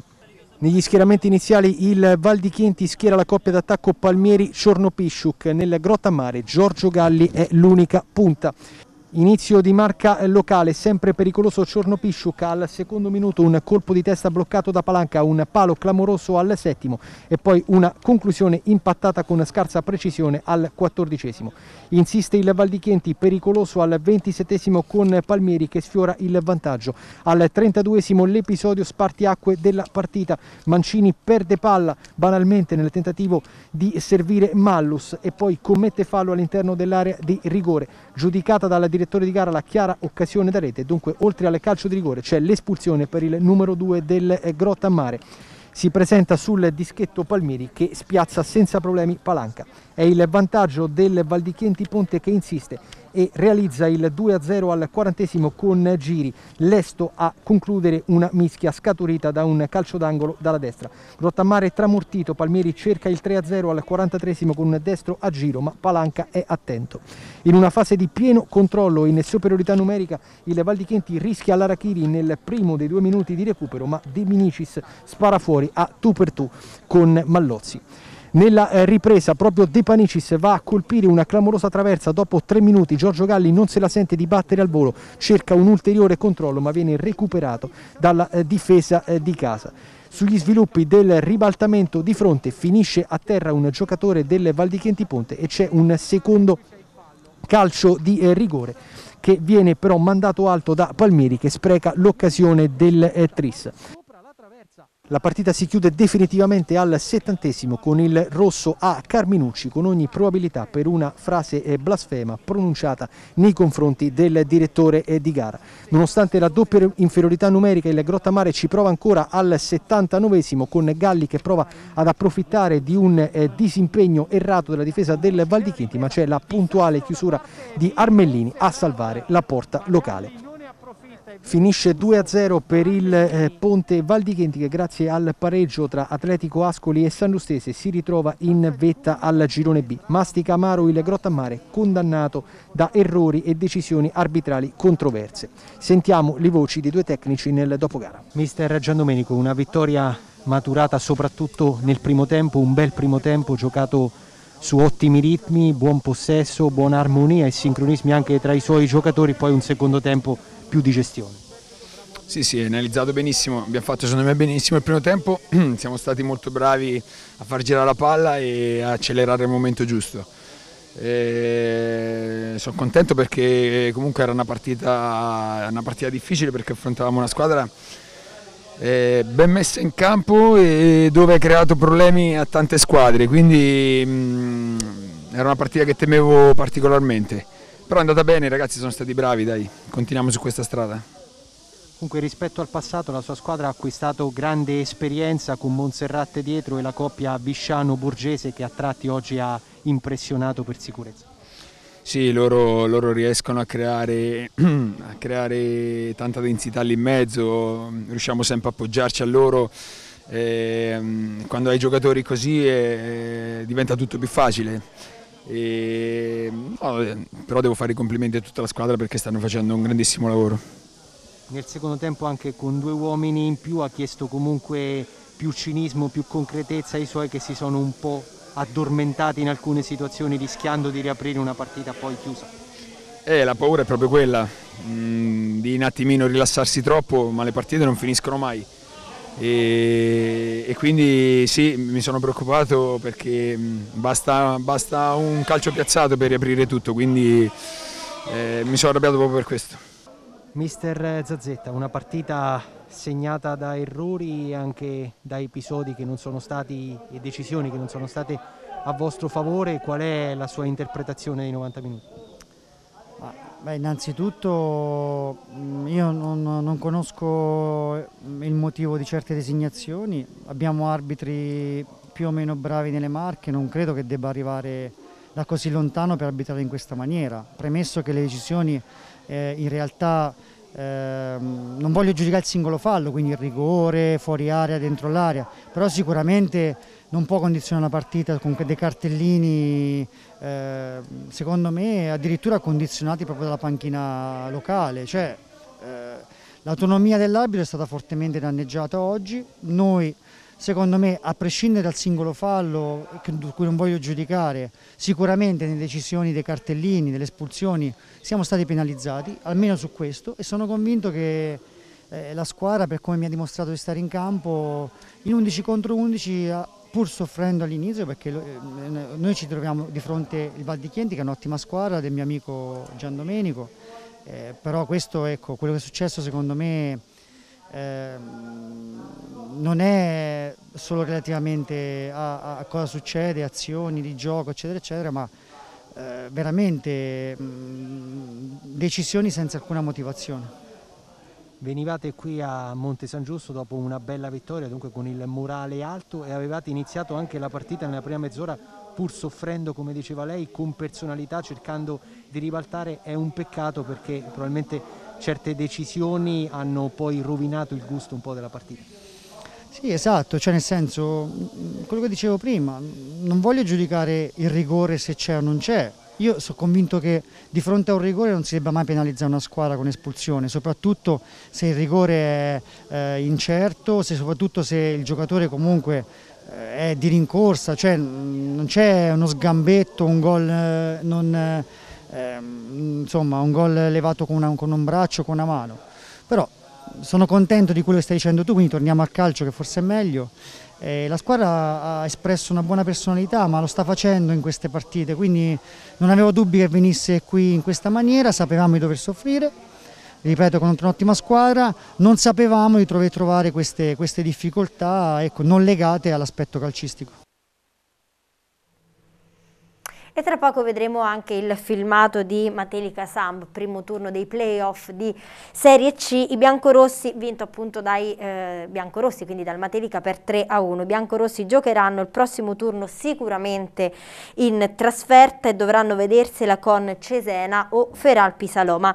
Per conoscere la data bisognerà aspettare le decisioni del Consiglio direttivo della Lega Pro in merito al recupero dell'ultima gara del primo turno dei playoff, appunto, fra Triestina Fiorentina Virtus Verona, rinviata poco, proprio mh, ieri, insomma nei giorni scorsi, a data da destinarsi a causa di un focolaio Covid nelle fila venete. Quindi sicuramente nelle prossime ore sapremo quale sarà la data del secondo turno dei, dei playoff che originariamente doveva essere il 12 maggio. Allora va bene, riprendiamo a parlare con i nostri amici del Grottammare, adesso abbiamo operato una sostituzione, abbiamo fatto uscire, era stanchissimo, ha preso anche una traversa, non l'avete visto nel servizio, il nostro Michele De Panicis, abbiamo fatto rientrare, gli ha dato il cambio eh, Federico Porfiri che mi raccomando non è un attaccante, è una mezzala, un centrocampista, per carità, è ancora con noi Ansuman Ayallov, tra l'altro Sara vedevo che mentre parlavi la tua camicia fa pandana anche con la scenografia, con i colori, con, con, la, con i cromatismi. Voluto, esatto, con i cromatismi arancioni e celesti della nostra eh, scenografia. Allora, volevo sapere, ehm, eh, Ansumana, siamo alla fine del girone di andata, domenica comincia il girone di ritorno, secondo te cosa cambierà? O meglio, cambierà qualcosa tra girone di andata e girone di ritorno oppure no? Cambierà tanto, il girone di ritorno noi innanzitutto ogni settimana lavoriamo per vincere, mm. Andiamo, facciamo tre allenamenti e più la rifinitura, quindi mm. durante la settimana alleniamo sempre per vincere e il giro in ritorno aspettiamo tanto, io ci credo eh, e come stiamo lavorando anche la staff. Sì, lo staff sì, de, lo, della squadra. Sì, come stiamo lavorando io ci credo faremo di meglio. Sei fiducioso? Sì, molto. Eh, Federico, stessa domanda, volevo sapere che opinione ti sei fatto tra del girone di andata e soprattutto se eh, cambierà qualcosa in questo girone di ritorno, perché se già c'erano pochissime prove d'appello per quanto riguarda il girone di andata, 10 partite, tutto il campionato, tutto il torneo, figuriamoci nel girone di ritorno, no? qui veramente o la va o la spacca o no? Sì, io penso che eh, alcune squadre adesso abbiano trovato la giusta, la giusta squadra, no? la giusta... Eh, sì, l'amalgama, diciamo, la eh, squadra... No, esatto, esatto. Quindi, e quindi di conseguenza sicuramente sarà, sarà più difficile, no? mentre magari le prime partite un po' si cerca anche di sperimentare, di trovare il giusto, il giusto equilibrio, io penso che adesso un po' tutte le squadre abbiano trovato appunto la, la, la, diciamo, tra virgolette la squadra titolare e quindi, quindi, sicuramente sarà un campionato, sarà un giro di ritorno ancora, ancora più difficile dove noi ancora una volta vogliamo dire la nostra. Eh, prima ascoltavo lì dalle retrovie, eh, giustamente Sara diceva ma eh, vo voi che magari adesso avete no, un, poco obiettivi eccetera eccetera, io penso invece, penso invece di no, cioè, l'obiettivo è sempre quello di migliorarsi e noi vogliamo migliorarci come come squadra, come, come società, eh, sta dimostrando insomma, di, eh, di, voler dare il giusto contributo anche a noi, quindi vogliamo dare proprio veramente tanto per, per questo girone di ritorno. Quindi capito Ansumana, io vorrei proprio sottolineare ciò che ha detto il tuo eh, amico eh, calciatore Federico Porfiri, no? l'obiettivo è sempre quello di migliorarsi, ma questo accade da quando nasciamo a quando moriamo, è un processo che non deve terminare mai, è un processo di, di crescita, hai capito? Quindi ovviamente tu hai fatto un grande, secondo me, miglioramento passando dal Gambia in Italia, ma dovrai ulteriormente eh, migliorare, ma anch'io dovrò migliorare, vale per tutti questo, ehm, questo principio. Sicuramente un, eh, un allenatore che eh, è già un grande allenatore, ma migliorerà, ma più che altro perché eh, quest'anno è la prima esperienza del vostro allenatore, no? Massimiliano Zazzetta. Cosa vi ha insegnato? Come vi fa giocare? Io, Zazzetta mi ha insegnato tanto. Io, innanzitutto, ultimamente giocavo in mezzala. Mm. Ho sempre giocato in mezzale e esterno alto, ma dove mi piace di più è lì. Ma lui mi ha chiamato e mi ha detto che tu sei una punta, ti devi fare una punta. E io sono d'accordo con lui, quindi mi ha aiutato tanto. Ogni giorno cerco sempre di migliorare, cerco sempre di fare cose di migliore che posso stare dentro campo. Eh, mi piace, mi piace anche come allena, come sta con noi. Mi piace come... Dalle tue, dalle tue parole tra, e dai tuoi occhi trasuda il fatto che vorresti dire che ti piace anche come persona. Come persona ecco, sì. sembra questo. Scusa se ho interpretato, eh. Era Mi solo... piace anche come persona perché ogni giorno, ogni volta cerca sempre di far crescere ai ragazzi, anche noi, soprattutto io che mi aiuta a migliorare so- sotto, eh, sotto la porta, di cerca sempre di fare qualcosa di in più. Mm. Federico, eh, tu lo conosci da poco, no? Mister Zazzetta, cosa ti ha trasmesso fino adesso? Sì, io il mister lo conosco da un paio di anni che già ci siamo Ah, già lo conoscevi? in passato. Eh, io penso che abbia, abbia delle idee importanti che in queste categorie sono... Pochi hanno. Esatto, sono come dire un po'... Mm. eh, Rivoluzionarie? No, rivoluzionarie no. Innovative? Innovative, esatto. Secondo me è un modo, un modo di giocare, una, eh, una, una visione importante, importante che in queste categorie magari non, non trovi, non trovi Tipo, sempre. fammi un esempio, facci Eh, capire. Ha, ha un modo di giocare, piace molto giocare palla a terra, molto propositivo, a noi ci piace molto attaccare con più uomini e questo, e questo soprattutto in Italia dove no, si tende un po' a, a tirare il braccio Eh. indietro, no, come dire, e quindi, quindi davvero, cioè, io, mi, io mi trovo bene personalmente, quindi e sicuramente per noi è un'opportunità di, crescere- di crescita da- da- da- da sfruttare. Certo, Sara. Ecco, mm, facciamo qualche pronostico. Alla fine del girone di andata, farli alla fine sarà Mm. sicuramente più semplice perché in cinque partite, insomma, quindi poi vi richiameremo e vedremo se ci avete preso. Pronostico di quelle che saranno le finali. Vai Sì, io- Federico. Io, eh, per finali intendi la squadra vincitrice o le finali playoff eh, che ci saranno? Finali playoff, quindi semifinale e finale. Eh, io penso che... Vai, divertiamoci un po'. Eh, dai, io faccio Atre- io Atletico Ascoli e Valtichienti, dico, per il girone nostro. Ok, E, e di là che si il- incroceranno quindi con... eh, con Gallo, Atletico Gallo e, e no, è Anconitano. Allora, No, non ce la fa. Ansumana, Ansumana la si è aperto un diversamente. dibattito. Perché contro Senegali abbiamo... No, Ansumana, con, con ordine, chi arriverà in semifinale girone A e girone B? Fossombrone Senegalia. Nel girone A. Nel girone A. Nel girone B? Dico Atletico Ascoli. Noi. Ecco, eh, te lo stavo per dire Eh. perché l'avevi già detto noi, non si era sentito, io l'avevo sentito perché sono vicino a te, l'avevo sentito. Perché come stiamo lavorando io ho tanta fiducia di fare molto meglio perché in ogni partita mister capisce e sa come affrontare Io, avversari, quindi- anzi. e siamo pronti di dare al massimo. Allora sì, dov- dovete essere pronti a dare il massimo, ma dovete soprattutto accelerare perché ho già detto che rimangono solamente 5 partite, quindi se già bisognava vincere tutte prima, figuriamoci adesso. Molto brevemente, rapidamente, qual è la dote che conterà di più in queste ultime 5 partite per appunto vincerle e portare a casa il maggior numero di punti? Ansumana. Eh, Di, cerca di vincere tante partite. Ecco, ma Di- cosa conterà? La fortuna, la tecnica, l'assenza di infortuni, la forma fisica? concentrati. Mm, la concentrazione. La concentrazione, sì. Va bene, Federico? Esperienza e tenuta fisica, perché adesso inizia, iniziano le vere giornate, quelle, quelle belle calde. Eh beh, eh, sulla tenuta fisica sono veramente d'accordo, l'ho già detto già da qualche settimana, forse, forse, però non tutti sanno che il Bayern Monaco, andiamo in Germania, il Bayern Monaco ha vinto il suo nono scudetto di fila, il trentunesimo in totale, solamente la Juventus eh, eh, sta dietro alla, alla squadra bavarese eh, nei festeggiamenti addirittura sono talmente abituati a questi scudetti in Baviera che addirittura eh, la polizia di Monaco ha twittato nel suo account Twitter la seguente frase.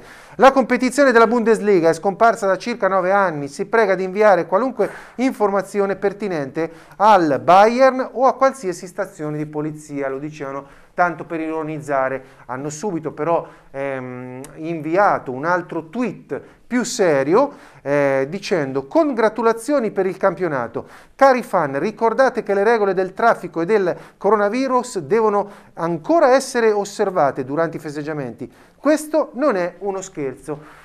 Nel Bayern Monaco, eh, poi la polizia tornerà, eh, tornerà in, in, questo, forse non tutti sanno che, eh, nel Bayern gioca eh, Kingsley Coman, Kingsley Coman ha 24 anni, e penso che sia il giocatore più vincente al mondo perché appunto come ha 24 anni ha vinto il, eh, il suo decimo, eh, decimo titolo eh, decimo titolo perché ha vinto questi nove scudetti con il eh, Bayern Monaco, ne aveva già vinto uno eh, con la Juventus nel 2015-2016 e ne aveva vinto un altro nel 2012-2013 quando aveva solamente 16 anni ed era al Paris Saint Germain.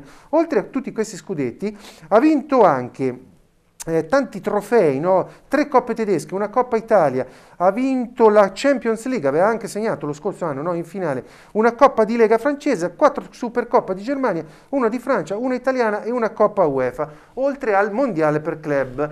Ma nonostante abbia vinto così tanti titoli, Kingsley Coman, capita anche a lui di poter incappare in una dimenticanza, in una eh, sbadataggine, ma che cosa salata a Kingsley Coman, perché?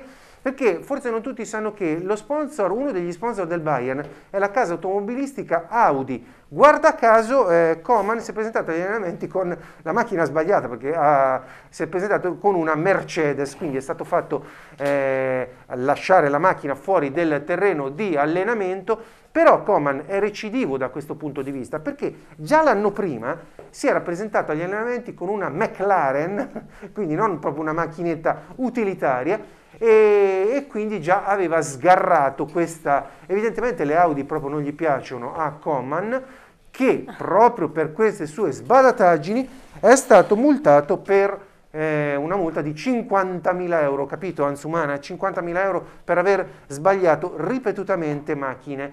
Eh, parlavo di polizia che ritornerà, sì perché eh, è tutto collegato, no? ho già detto il Bayern vince gli scudetti, solamente la, Juve, solamente la Juventus a, a livello mh, europeo tiene testa alla squadra bavarese, eh, ieri la Juventus Women ha vinto il suo quarto titolo di fila, però succede che, eh, questo succede in quindi calcio femminile, succede che una calciatrice eh, femminile eh, tale, io non la conoscevo, è Katrin Veie, eh, lei è danese ma gioca in Svezia, a causa di questi controlli per il Covid si trova appunto a prendere il treno per andare eh, dalla Danimarca alla Svezia per fare gli allenamenti. Beh, è stata fermata dalla polizia eh, chiedendo il motivo dello spostamento e lei ha detto io sto andando agli allenamenti di calcio femminile. Uno dei poliziotti gli ha risposto, anzi le ha risposto,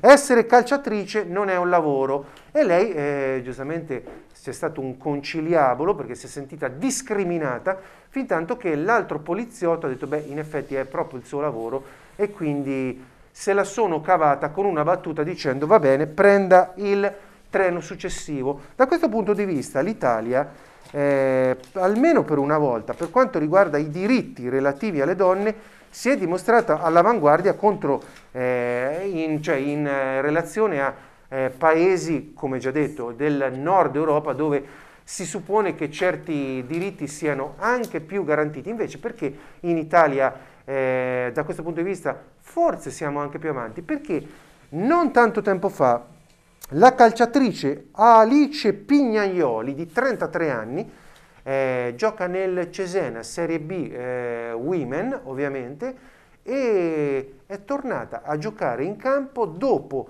eh, 100 giorni proprio perché eh, era in gravidanza, per cui la società l'ha aspettata e, e a 33 anni. Alice Pignaioli eh, è ritornata a giocare, quindi senza assolutamente discriminazioni per, per, il fatto della gravidanza. Ebbene, oggi alla festa della mamma chiudiamo proprio con, con questa lieta novella, lieta no, notizia di Alice Pignaioli, in realtà è una mh, mm, notizia di non freschissima, ma nemmeno eh, vecchissima.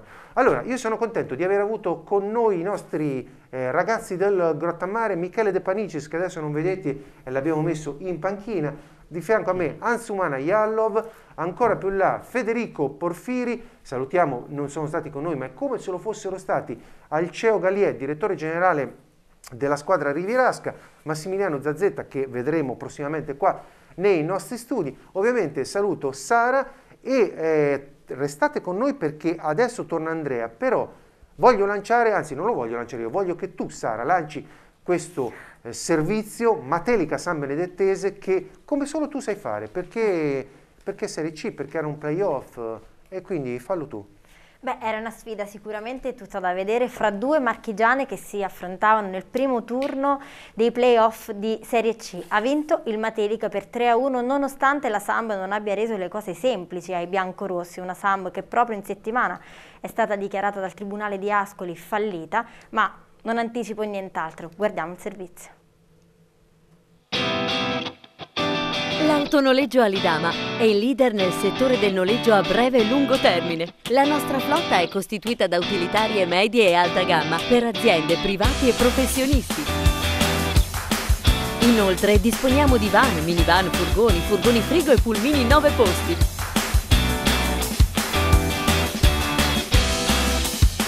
Autonoleggio Alidama, qualità e assistenza nell'autonoleggio. Il Matelica si regala un altro capitolo del romanzo della sua strepitosa annata, superando all'Elvia Recina per 3-1 nel derby marchigiano dei playoff la San Benedettese, accedendo così al turno successivo degli spareggi promozione per la Serie B. Primo tempo bloccato con la Samb che si è fatta preferire rispetto ai padroni di casa, che sono sembrati contratti e tesi, mentre nel secondo tempo la partita si è sbloccata con i biancorossi che hanno trovato il vantaggio a inizio ripresa con Calcagni, grazie anche all'ingresso di Alberti per Volpicelli che ha portato sostanza all'interno dell'area di rigore. Poi hanno subito un ritorno dei rossoblù, che prima hanno trovato il pareggio, poi nel finale, con tanto cuore e generosità nonostante l'inferiorità numerica, hanno cercato l'impresa ma senza successo. Comunque uno spettacolo davvero degno per emozioni gioco di un playoff, con Materica che si regala l'ennesima serata di felicità e la Sambe che esce a testa altissima dall'Elvia Recina per impegno, cuore e determinazione. Il Materica al via con l'11 titolare, con Vitali al posto di Cardinali tra i pali e Magri per Zigrossi. La Samb si schiera con il 4-3-3 con Botta, Lescano e Liporaci a comporre il tridente offensivo e Maxi Lopez recuperato che parte dalla panchina. Inizio di gara a ritmi bassi, influenzato dal caldo, con le due squadre che chiudono bene gli spazi. Dodicesimo si fanno vedere i rossoblù, Botta raccoglie la palla al limite dell'area e fa partire una conclusione che però non crea problemi a Vitali. Primo tempo che vede il Matelica meno brillante del solito, con molti errori in fase di impostazione, con la Samb che chiude bene tutte le linee di passaggio, non concedendo nulla ai biancorossi. Al 37 pericolosi rossoblù. Rossi soffia la palla a Calcagni in uscita e imbuca per Lescano che offre la sfera a botta, il quale fa partire una conclusione che si perde di poco al lato. Così scorre via il primo tempo con le due formazioni che vanno a riposo sullo 0-0 di partenza.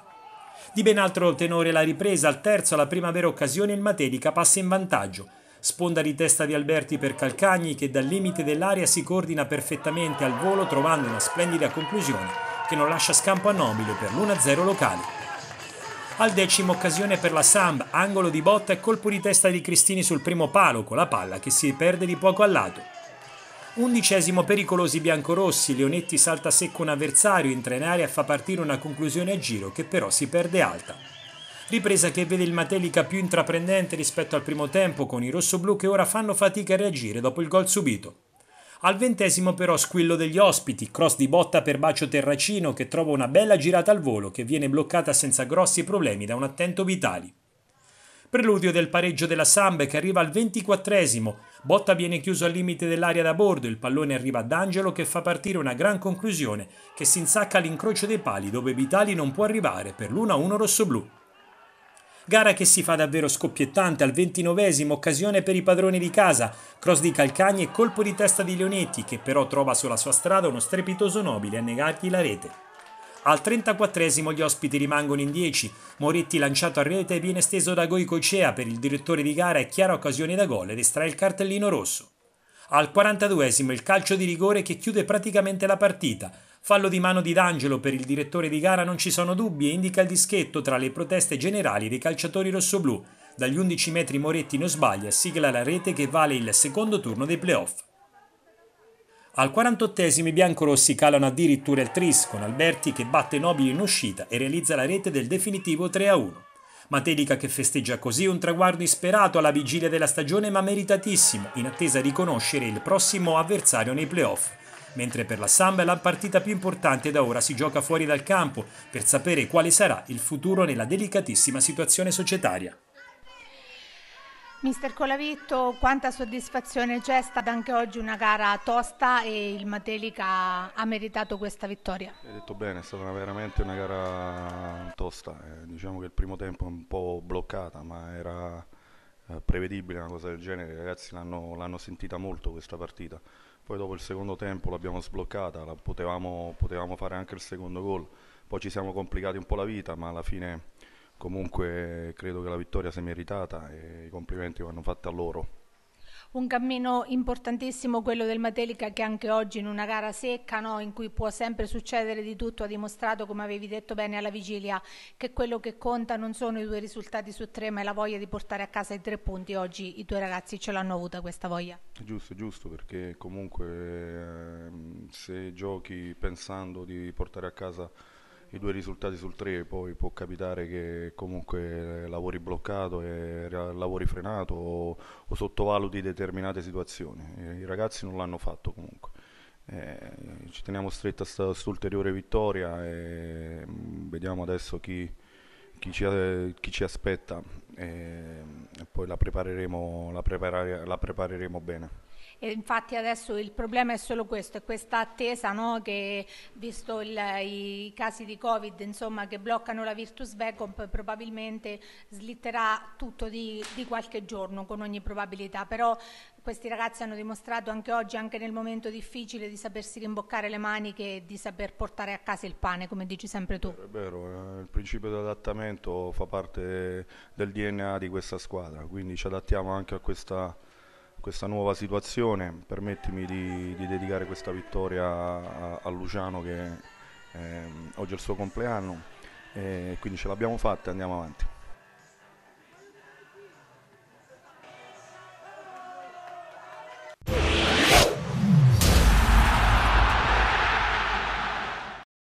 Ed eccoci gentili telespettatori alla terza parte della nostra trasmissione, torniamo per un attimo a parlare di Materica San Benedettese, abbiamo da poco visto il servizio con le dichiarazioni del tecnico biancorosso Gianluca Colavitto, queste invece le dichiarazioni di Paolo Montero, tecnico della San Benedettese ai canali ufficiali rossoblù. Ai miei, ha detto il tecnico uruguagio, non posso dire nulla, hanno dimostrato continuamente di saper interpretare certe situazioni. Posso solo ringraziare la città, i giocatori, i collaboratori, tutto lo staff per l'appoggio che ho avuto e complimenti al Mateli che è stata la squadra sorpresa del campionato e ha meritato dove è arrivata. Adesso grazie a tutti e vedremo cosa ci riserverà il futuro. E vi ricordo, come ha già anticipato Sara Santacchi, senza la disputa di Triestina-Virtus Verona è impossibile delineare al momento gli accoppiamenti del secondo turno di questo girone. L'unica sfida che sicuramente non ci sarà è quella tra Feralpi Salò e Cesena. Le due non si affronteranno dal momento che il Matelica ha una classifica peggiore rispetto a quella dei bianconeri romagnoli. Se nel match rinviato si imporrà la Triestina, allora Feralpi e Matelica si ritroveranno nel secondo turno. Si giocherà comunque a Salò, con Triestina e Cesena nell'altra gara. Ma se a farcela sarà invece la Virtus Verona, allora i Veneti andranno a far visita alla Feralpi, mentre Cesena e Matelica saranno una di fronte all'altra. In ogni caso, ripetiamo ancora, il Matelica giocherà la sua prima partita in trasferta. E adesso torniamo al campionato di eccellenza andando a vedere il servizio di Luca Baiocco sul pareggio 0-0 tra Montefano e Anconitana.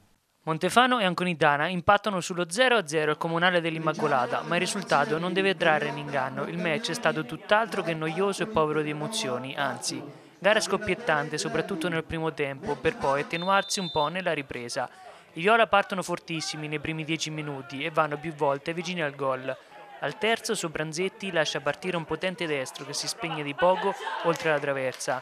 Poi al settimo Bonacci viene imbucato tutto solo davanti a Marcantognini, ma non riesce a concludere in maniera efficace. L'estremo difensore chiude la grande. Un minuto dopo c'è il mancino di Iacchetta dal limite dell'area, blocca a terra il portiere. L'Anconitana col tempo cresce e prende le misure Viola. Ci prova al 24esimo Montagnoli dalla distanza, Rocchi blocca facilmente a terra. Poco prima della mezz'ora è la volta di Cheriota che converge da destra e conclude col suo mancino. Rocchi si fa trovare pronto, poi Gionchetti mette fuori. Lo squillo più grande dei Dorici nel primo tempo è al 33esimo. Al limite Marabese si ritrova la palla a tre piedi e da fermo lascia partire un mancino violentissimo che si stampa sulla traversa per poi tornare in campo. Lo stesso numero 11 ci prova 4 minuti dopo la calcio di punizione, palla telefonata per Rocchi. La ripresa si apre sullo stesso piano di ritmo e intensità, ma col passare del tempo le squadre si assestano e non vogliono rischiare di prendere gol. Al 59esimo Marabese calcia dal limite col destro, Rocchi è bravo a respingere lateralmente. Ci prova di testa Boninsegni da calcio d'angolo al 67esimo, senza inquadrare però lo specchio. La partita si avvia sul finale con un Montefano guardingo e una Conidana che vuole vincerla a tutti i costi. Poco dopo la mezz'ora protesta l'Anconitana per un gol annullato a Marabese. La sponda di testa di Zenga serve il compagno Marabese che tutto solo davanti a Rocchi lo batte con un pallonetto ma si alza la bandierina dell'assistente. Proteste degli ospiti. Le emozioni sono negli ultimi minuti. All'89esimo Marengo calcia dopo una sponda di un compagno dal limite alto. Poi al quarto di recupero, occasione clamorosa per gli ospiti. Trofo dal cuore dell'area calcia a botta sicura, trovando l'autentico miracolo di Rocchi, che smanaccia in calcio d'angolo. È l'ultima emozione prima del fischio finale. L'Anconitana perde due punti rispetto al Fossombrone, ma resta comunque in scia. Per il Montefano è il terzo pari e quindi tre punti in classifica, una vittoria che però ancora manca. Sarà da ricercare nel prossimo match interno con la capolista, nella prima di ritorno. Mister Lattanzi, il suo Montefano pareggia reti bianche contro l'Anconitana, nel primo tempo avete avuto addirittura anche diverse occasioni per portarvi in vantaggio, alla fine è più un punto guadagnato o due persi, visto come era iniziata la gara? Noi innanzitutto dovevamo riscattare la prestazione di domenica scorsa e questo è quello che abbiamo, ho chiesto ai ragazzi e per questo abbiamo lavorato tutta la settimana. Il risultato poi sì, eh, sicuramente eh, giocavamo per vincere, volevamo a tutti i costi la vittoria e non ci siamo riusciti, però la squadra ha fatto un passo in avanti rispetto a domenica scorsa e è questo quello che, che avevamo in mente di fare. Insomma, abbiamo lavorato tanto per questo, i ragazzi si sono eh, uniti, hanno fatto gruppo oggi, hanno fatto tutti eh, quello che sanno fare. Quindi ci è mancato il gol, è chiaro abbiamo anche rischiato, ma di fronte avevamo la prima in classifica, quindi non era sicuramente l'ultima della classe perciò la partita è stata una buona, una buona, partita, abbiamo fatto un passo avanti rispetto a domenica scorsa, sono contento, l'atteggiamento che dobbiamo avere è questo, noi eh, stiamo seguendo un percorso di crescita eh, importante. E oggi tanti giocatori hanno fatto molto meglio di domenica scorsa e questa è la cosa più importante.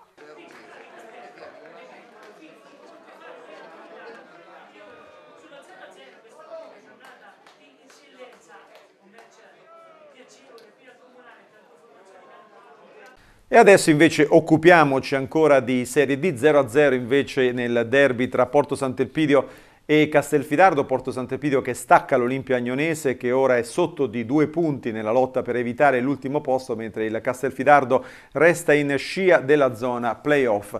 Andiamo a vedere invece il servizio su Tolentino Matese, è finita 2-2 grandi recriminazioni in casa Cremisi, soprattutto nei confronti del direttore di gara. Vediamo il servizio. Caldaia Sicura riprendono gli accertamenti agli impianti termici. In base alla normativa vigente, gli impianti termici devono essere sottoposti al controllo di efficienza energetica e ad una regolare manutenzione. Se un impianto termico non funziona bene, ci sono grossi rischi per la sicurezza delle persone e per la tutela dell'ambiente. Un impianto efficiente permette di risparmiare. Fai la manutenzione periodica della tua caldaia, metti al sicuro te e la tua famiglia e non incorri in spiacevoli sanzioni. Rivolgiti subito al tuo manutentore di fiducia. La tua sicurezza è il bene più importante. MP SPA. Meglio e prima. Di nuovo in campo dopo la sosta, al della vittoria si ritrovano i padroni di casa Cremisi contro l'FC Matese, la liberazione del girone F del campionato nazionale dilettanti. Ospiti messi in campo da mister Corrado Urbano con il consueto 4-4-2, in avanti la coppia Galaesio e Abreu, nella zona centrale Baroni e Massi assistiti dai laterali di Uovo e Langellotti, dietro estremi Riccio e Riggio con Albanese e Cassese a chiudere centralmente. Nel Tolentino non disponibile per squalifica Bonacchi, Federico Conti ancora non al meglio, viene portato in panchina da mister Mosconi. Al posto dello squalificato Cremisi viene impiegato Emanuele Strano, mentre avanti la formazione di casa schiera la coppia composta da capitano Ettore Padovani e Santiago Minella, con Pagliari a fare il playmaker. Padroni di casa che stentano a decollare, al terzo fanno girare palla ai campani che provano la conclusione a giro con Barone, sfera che termina sopra il montante del portierino Cremisi. Il risultato cambia al sesto minuto, al primo vero affondo ospite rimessa laterale, Abreu anticipa Governali e sfera che viene insaccata e rese da Galesio, decimo sigillo personale dell'attaccante Campano. Sempre come un mucile finito KO la formazione di Casa che stenta a raddrizzare la schiena. Solo intorno alla mezz'ora, bella giocata di Padovani, Perrucci con quest'ultimo che però non inquadra lo specchio della porta ospite. Un minuto più tardi Padovani è superato superare l'avversario, apertura per Minella, la cui debole conclusione non incide sul risultato. Continua nel momento più propizio la supremazia dei padroni di casa, Padovani anticipa un avversario, passaggio all'indietro per Rucci, la cui conclusione viene deviata in angolo da Kuzmanovic. Al 41esimo, punizione dei padroni di casa sulla fascia sinistra d'attacco, sul punto della battuta si porta Capezzani, pallone che arriva sullo specchio della porta ospite, sembra che lo stesso abbia superato la linea di fondo, smanacciata ancora di Kuzmanovic che manda la sfera sull'interno della traversa e poi il pallone ritorna in campo ma l'arbitro non convalida la rete del meritato pareggio e si continua con il vantaggio ospite. Al 43 viene graziato di Uovu, da poco ammonito il numero 7 ospite colpisce volontariamente il pallone con la mano. Punizione per i padroni di casa, ma nessuna sanzione per l'autore del fallo di mano che a livello dei regolamenti avrebbe certamente meritato la seconda ammonizione. Ripresa di nuovo in campo con gli stessi effettivi. Al secondo affondo la formazione di casa trova il pareggio. Cross di Rucci per Strano che riesce a mettere sull'angolino basso festeggiando così la sua 150 presenza in maglia Cremisi. Al decimo sono in campagna ad esultare nuovamente Spioventi di Langellotti, Torre sul fondo di Galesio e questa volta è Abreo a portare in vantaggio gli ospiti. A ruoli invertiti sono comunque due attaccanti ospiti a seminare scompiglio nell'area di rigore dei padroni di casa. La reazione dei Cremisi viene però premiata poco dopo, al tredicesimo Spioventi in aria, duello tra Capezzani e Riggio con un tocco a gamba tesa del laterale della formazione campana. Questa volta il direttore di gara concede il rigore per i padroni di casa. Con molta ma molta freddezza Ettore Padovani spiazza l'estremo ospite e rimette così la gara sul 2-2, risultato che rimane tale fino al 96esimo, nonostante la girandola di sostituzioni con entrambe le formazioni che si dividono la posta in palio e guardano avanti per i rispettivi obiettivi. Allora mister, tanta grinta, tanta buona volontà, peccato però che non sono arrivati i tre punti. Eh, tanto la base è questa, grinta, volontà, mh, giocato a calcio benissimo, atteggiamento giusto da parte dei, dei ragazzi, siamo stati eccezionali eh, a recuperare due volte lo svantaggio, magari non dovevamo fare attenzione sul secondo gol loro, non dovevamo prendere perché ormai l'inerzia della partita era tutta a favore nostro, però sono stati eccezionali, io questo gruppo non posso fare sempre altro che elogiarlo e ringraziarlo per l'atteggiamento che hanno e per come sono attaccati eh, a livello calcistico a, Tolentino. Eh, è un punto importante contro una squadra che stava in zona playoff, abbiamo dimostrato che non siamo secondi a nessuno e ce la giochiamo fino alla fine. Ultima fase del campionato, mister ancora sei partite, il Tolentino domenica dovrà andare in casa della capolista Campobasso. Le partite sono sette, sei più una da, da recuperare. A Tolentino i ragazzi è una famiglia, eh, non abbiamo mai visto contro chi giochiamo, non abbiamo visto contro chi giochiamo, noi abbiamo l'obiettivo importante partita per partita, cercare di fare punti per arrivare il minor tempo possibile alla salvezza e basta. Questo è un gruppo di ragazzi eccezionale che non meritano eh, questa, tra virgolette, eh, classifica. Eh, questo è così, è un gruppo che va soltanto esaltato e, e ringraziato. Se devono colpire qualcuno, meglio che colpiscono Andrea Mosconi, ma il, il gruppo è sacro, non devono toccare, meglio che se devono colpire qualcuno, meglio che colpiscono me, perché sono io il capofamiglia, sono io il responsabile di tutto e, e basta, noi dobbiamo lottare a salvezza, poi la società dovrà decidere cosa fare. Allora, mister, un pareggio tra due formazioni che hanno lottato fino all'ultimo istante per cercare di capitalizzare al massimo. Sì, eh, sicuramente è una partita molto combattuta, eh, oggi faceva caldo, le due squadre hanno, dato, hanno speso tanto secondo me. Eh, noi peccato che siamo riusciti ad andare due volte in vantaggio e poi eh, insomma, abbiamo preso due gol, uno vabbè, su calcio di rigore che onestamente non lo so, dalla panchina faccio fatica a giudicare se, se ci fosse o meno, però al di là di questo dell'episodio io credo che noi abbiamo fatto come, come stiamo facendo insomma questo chiamiamolo girone di ritorno perché tra i vari recuperi si gioca una partita d'andata e partita di ritorno, abbiamo fatto bene, squadra compatta, che, che è ripartita sempre con pericolosità, sapevamo anche che l'avversario aveva alcune caratteristiche eh, difficili da affrontare per noi, soprattutto con una difesa a 4 perché loro sui, sugli esterni con i quinti spingevano molto e poi avevano i, avevano i due attaccanti che, che, giocavano sempre in funzione della porta, molto bravi l'uno per giocare stretti l'uno per l'altro, però devo dire che, che la, la mia squadra si è disimpegnata molto bene. Abbiamo ancora da proporvi un servizio di Serie D relativo alla vittoria molto importante della Vastese sul San Nicolò Notaresco, successo che un po' consegna per certi aspetti il campionato al Campobasso che si porta a più 6 nei confronti della formazione abruzzese tutto in teoria sarebbe ancora in bilico, ma certamente sei punti di distacco e anche questa sconfitta pregiudicano un po' la rincorsa della formazione guidata da Massimo Epifani, mentre la lotta per i playoff è comunque molto accesa tra Castelnuovo, Matese, Canatese e Castelfidardo, ma soprattutto c'è il Pineto che sta rientrando molto forte. Ma andiamo a vedere il servizio appunto su Vastese San Nicolò Notaresco. Mamona e Di Prisco regalano tre punti d'oro in chiave salvezza alla Vastese. I biancorossi battono un notaresco poco cinico e che non riesce a concretizzare la mole di gioco creata nell'arco dell'intero match. Con le immagini di Edoardo Daddario passiamo ai momenti salienti della gara. Nei biancorossi formazione tipo, ad eccezione di Martinez che va in panchina per le noci e Diarra fuori per squalifica. Daddario si affida a un 4-4-2. Nei Teramani panchina per gli ex di giornata Dos Santos e Palumbo. Epifani deve fare i conti con assenze pesanti, una su tutte, quella di Banegas, capocannoniere della squadra. Il tecnico sceglie un 4-3-3. Le due squadre partono al piccolo trotto con gli ospiti che hanno in mano il pallino del gioco al decimo conclusione strozzata di Marchionni che va al lato. Il numero 7 ci riprova al ventisettesimo con un tiro a Ciro che super di Rienzo toglie dal 7 con uno spettacolare colpo di Reni. I due gesti tecnici meritano il replay. Per la prima azione pericolosa della Vastese bisogna attendere il 39esimo. Obodo recupera palla e serve Martiniello. L'attaccante converge in aria e calcia sul primo palo, attento Shiba che respinge, poi ci prova Di Prisco con la conclusione che non inquadra la porta.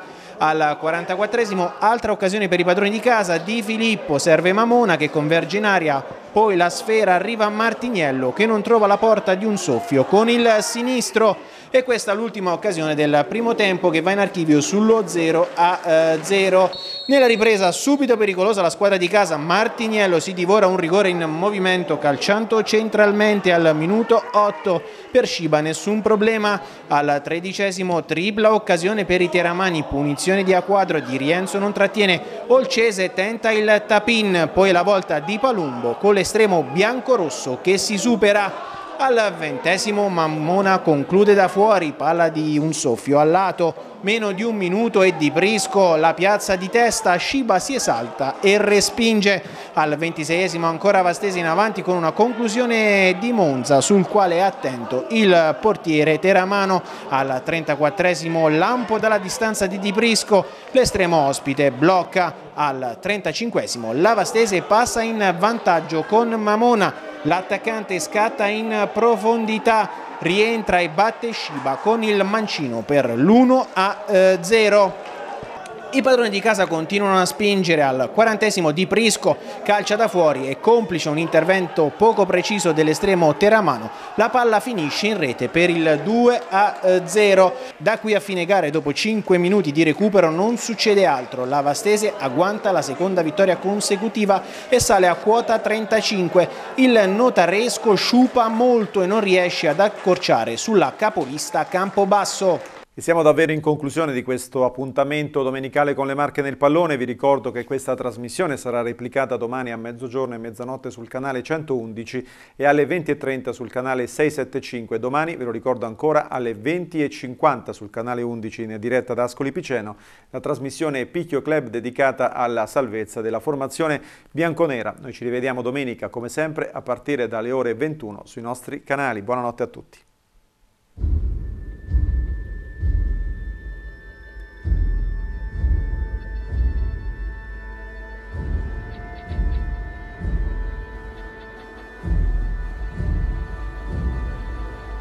Grazie a voi tutti di averci seguito, appuntamento alla prossima settimana.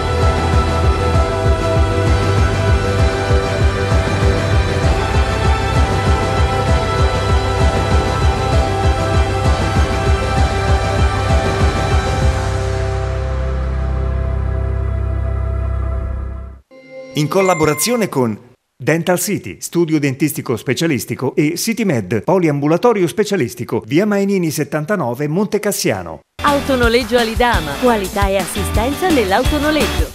I due re, ristorante pizzeria, lungomare Piermanni, Civitanova Marche.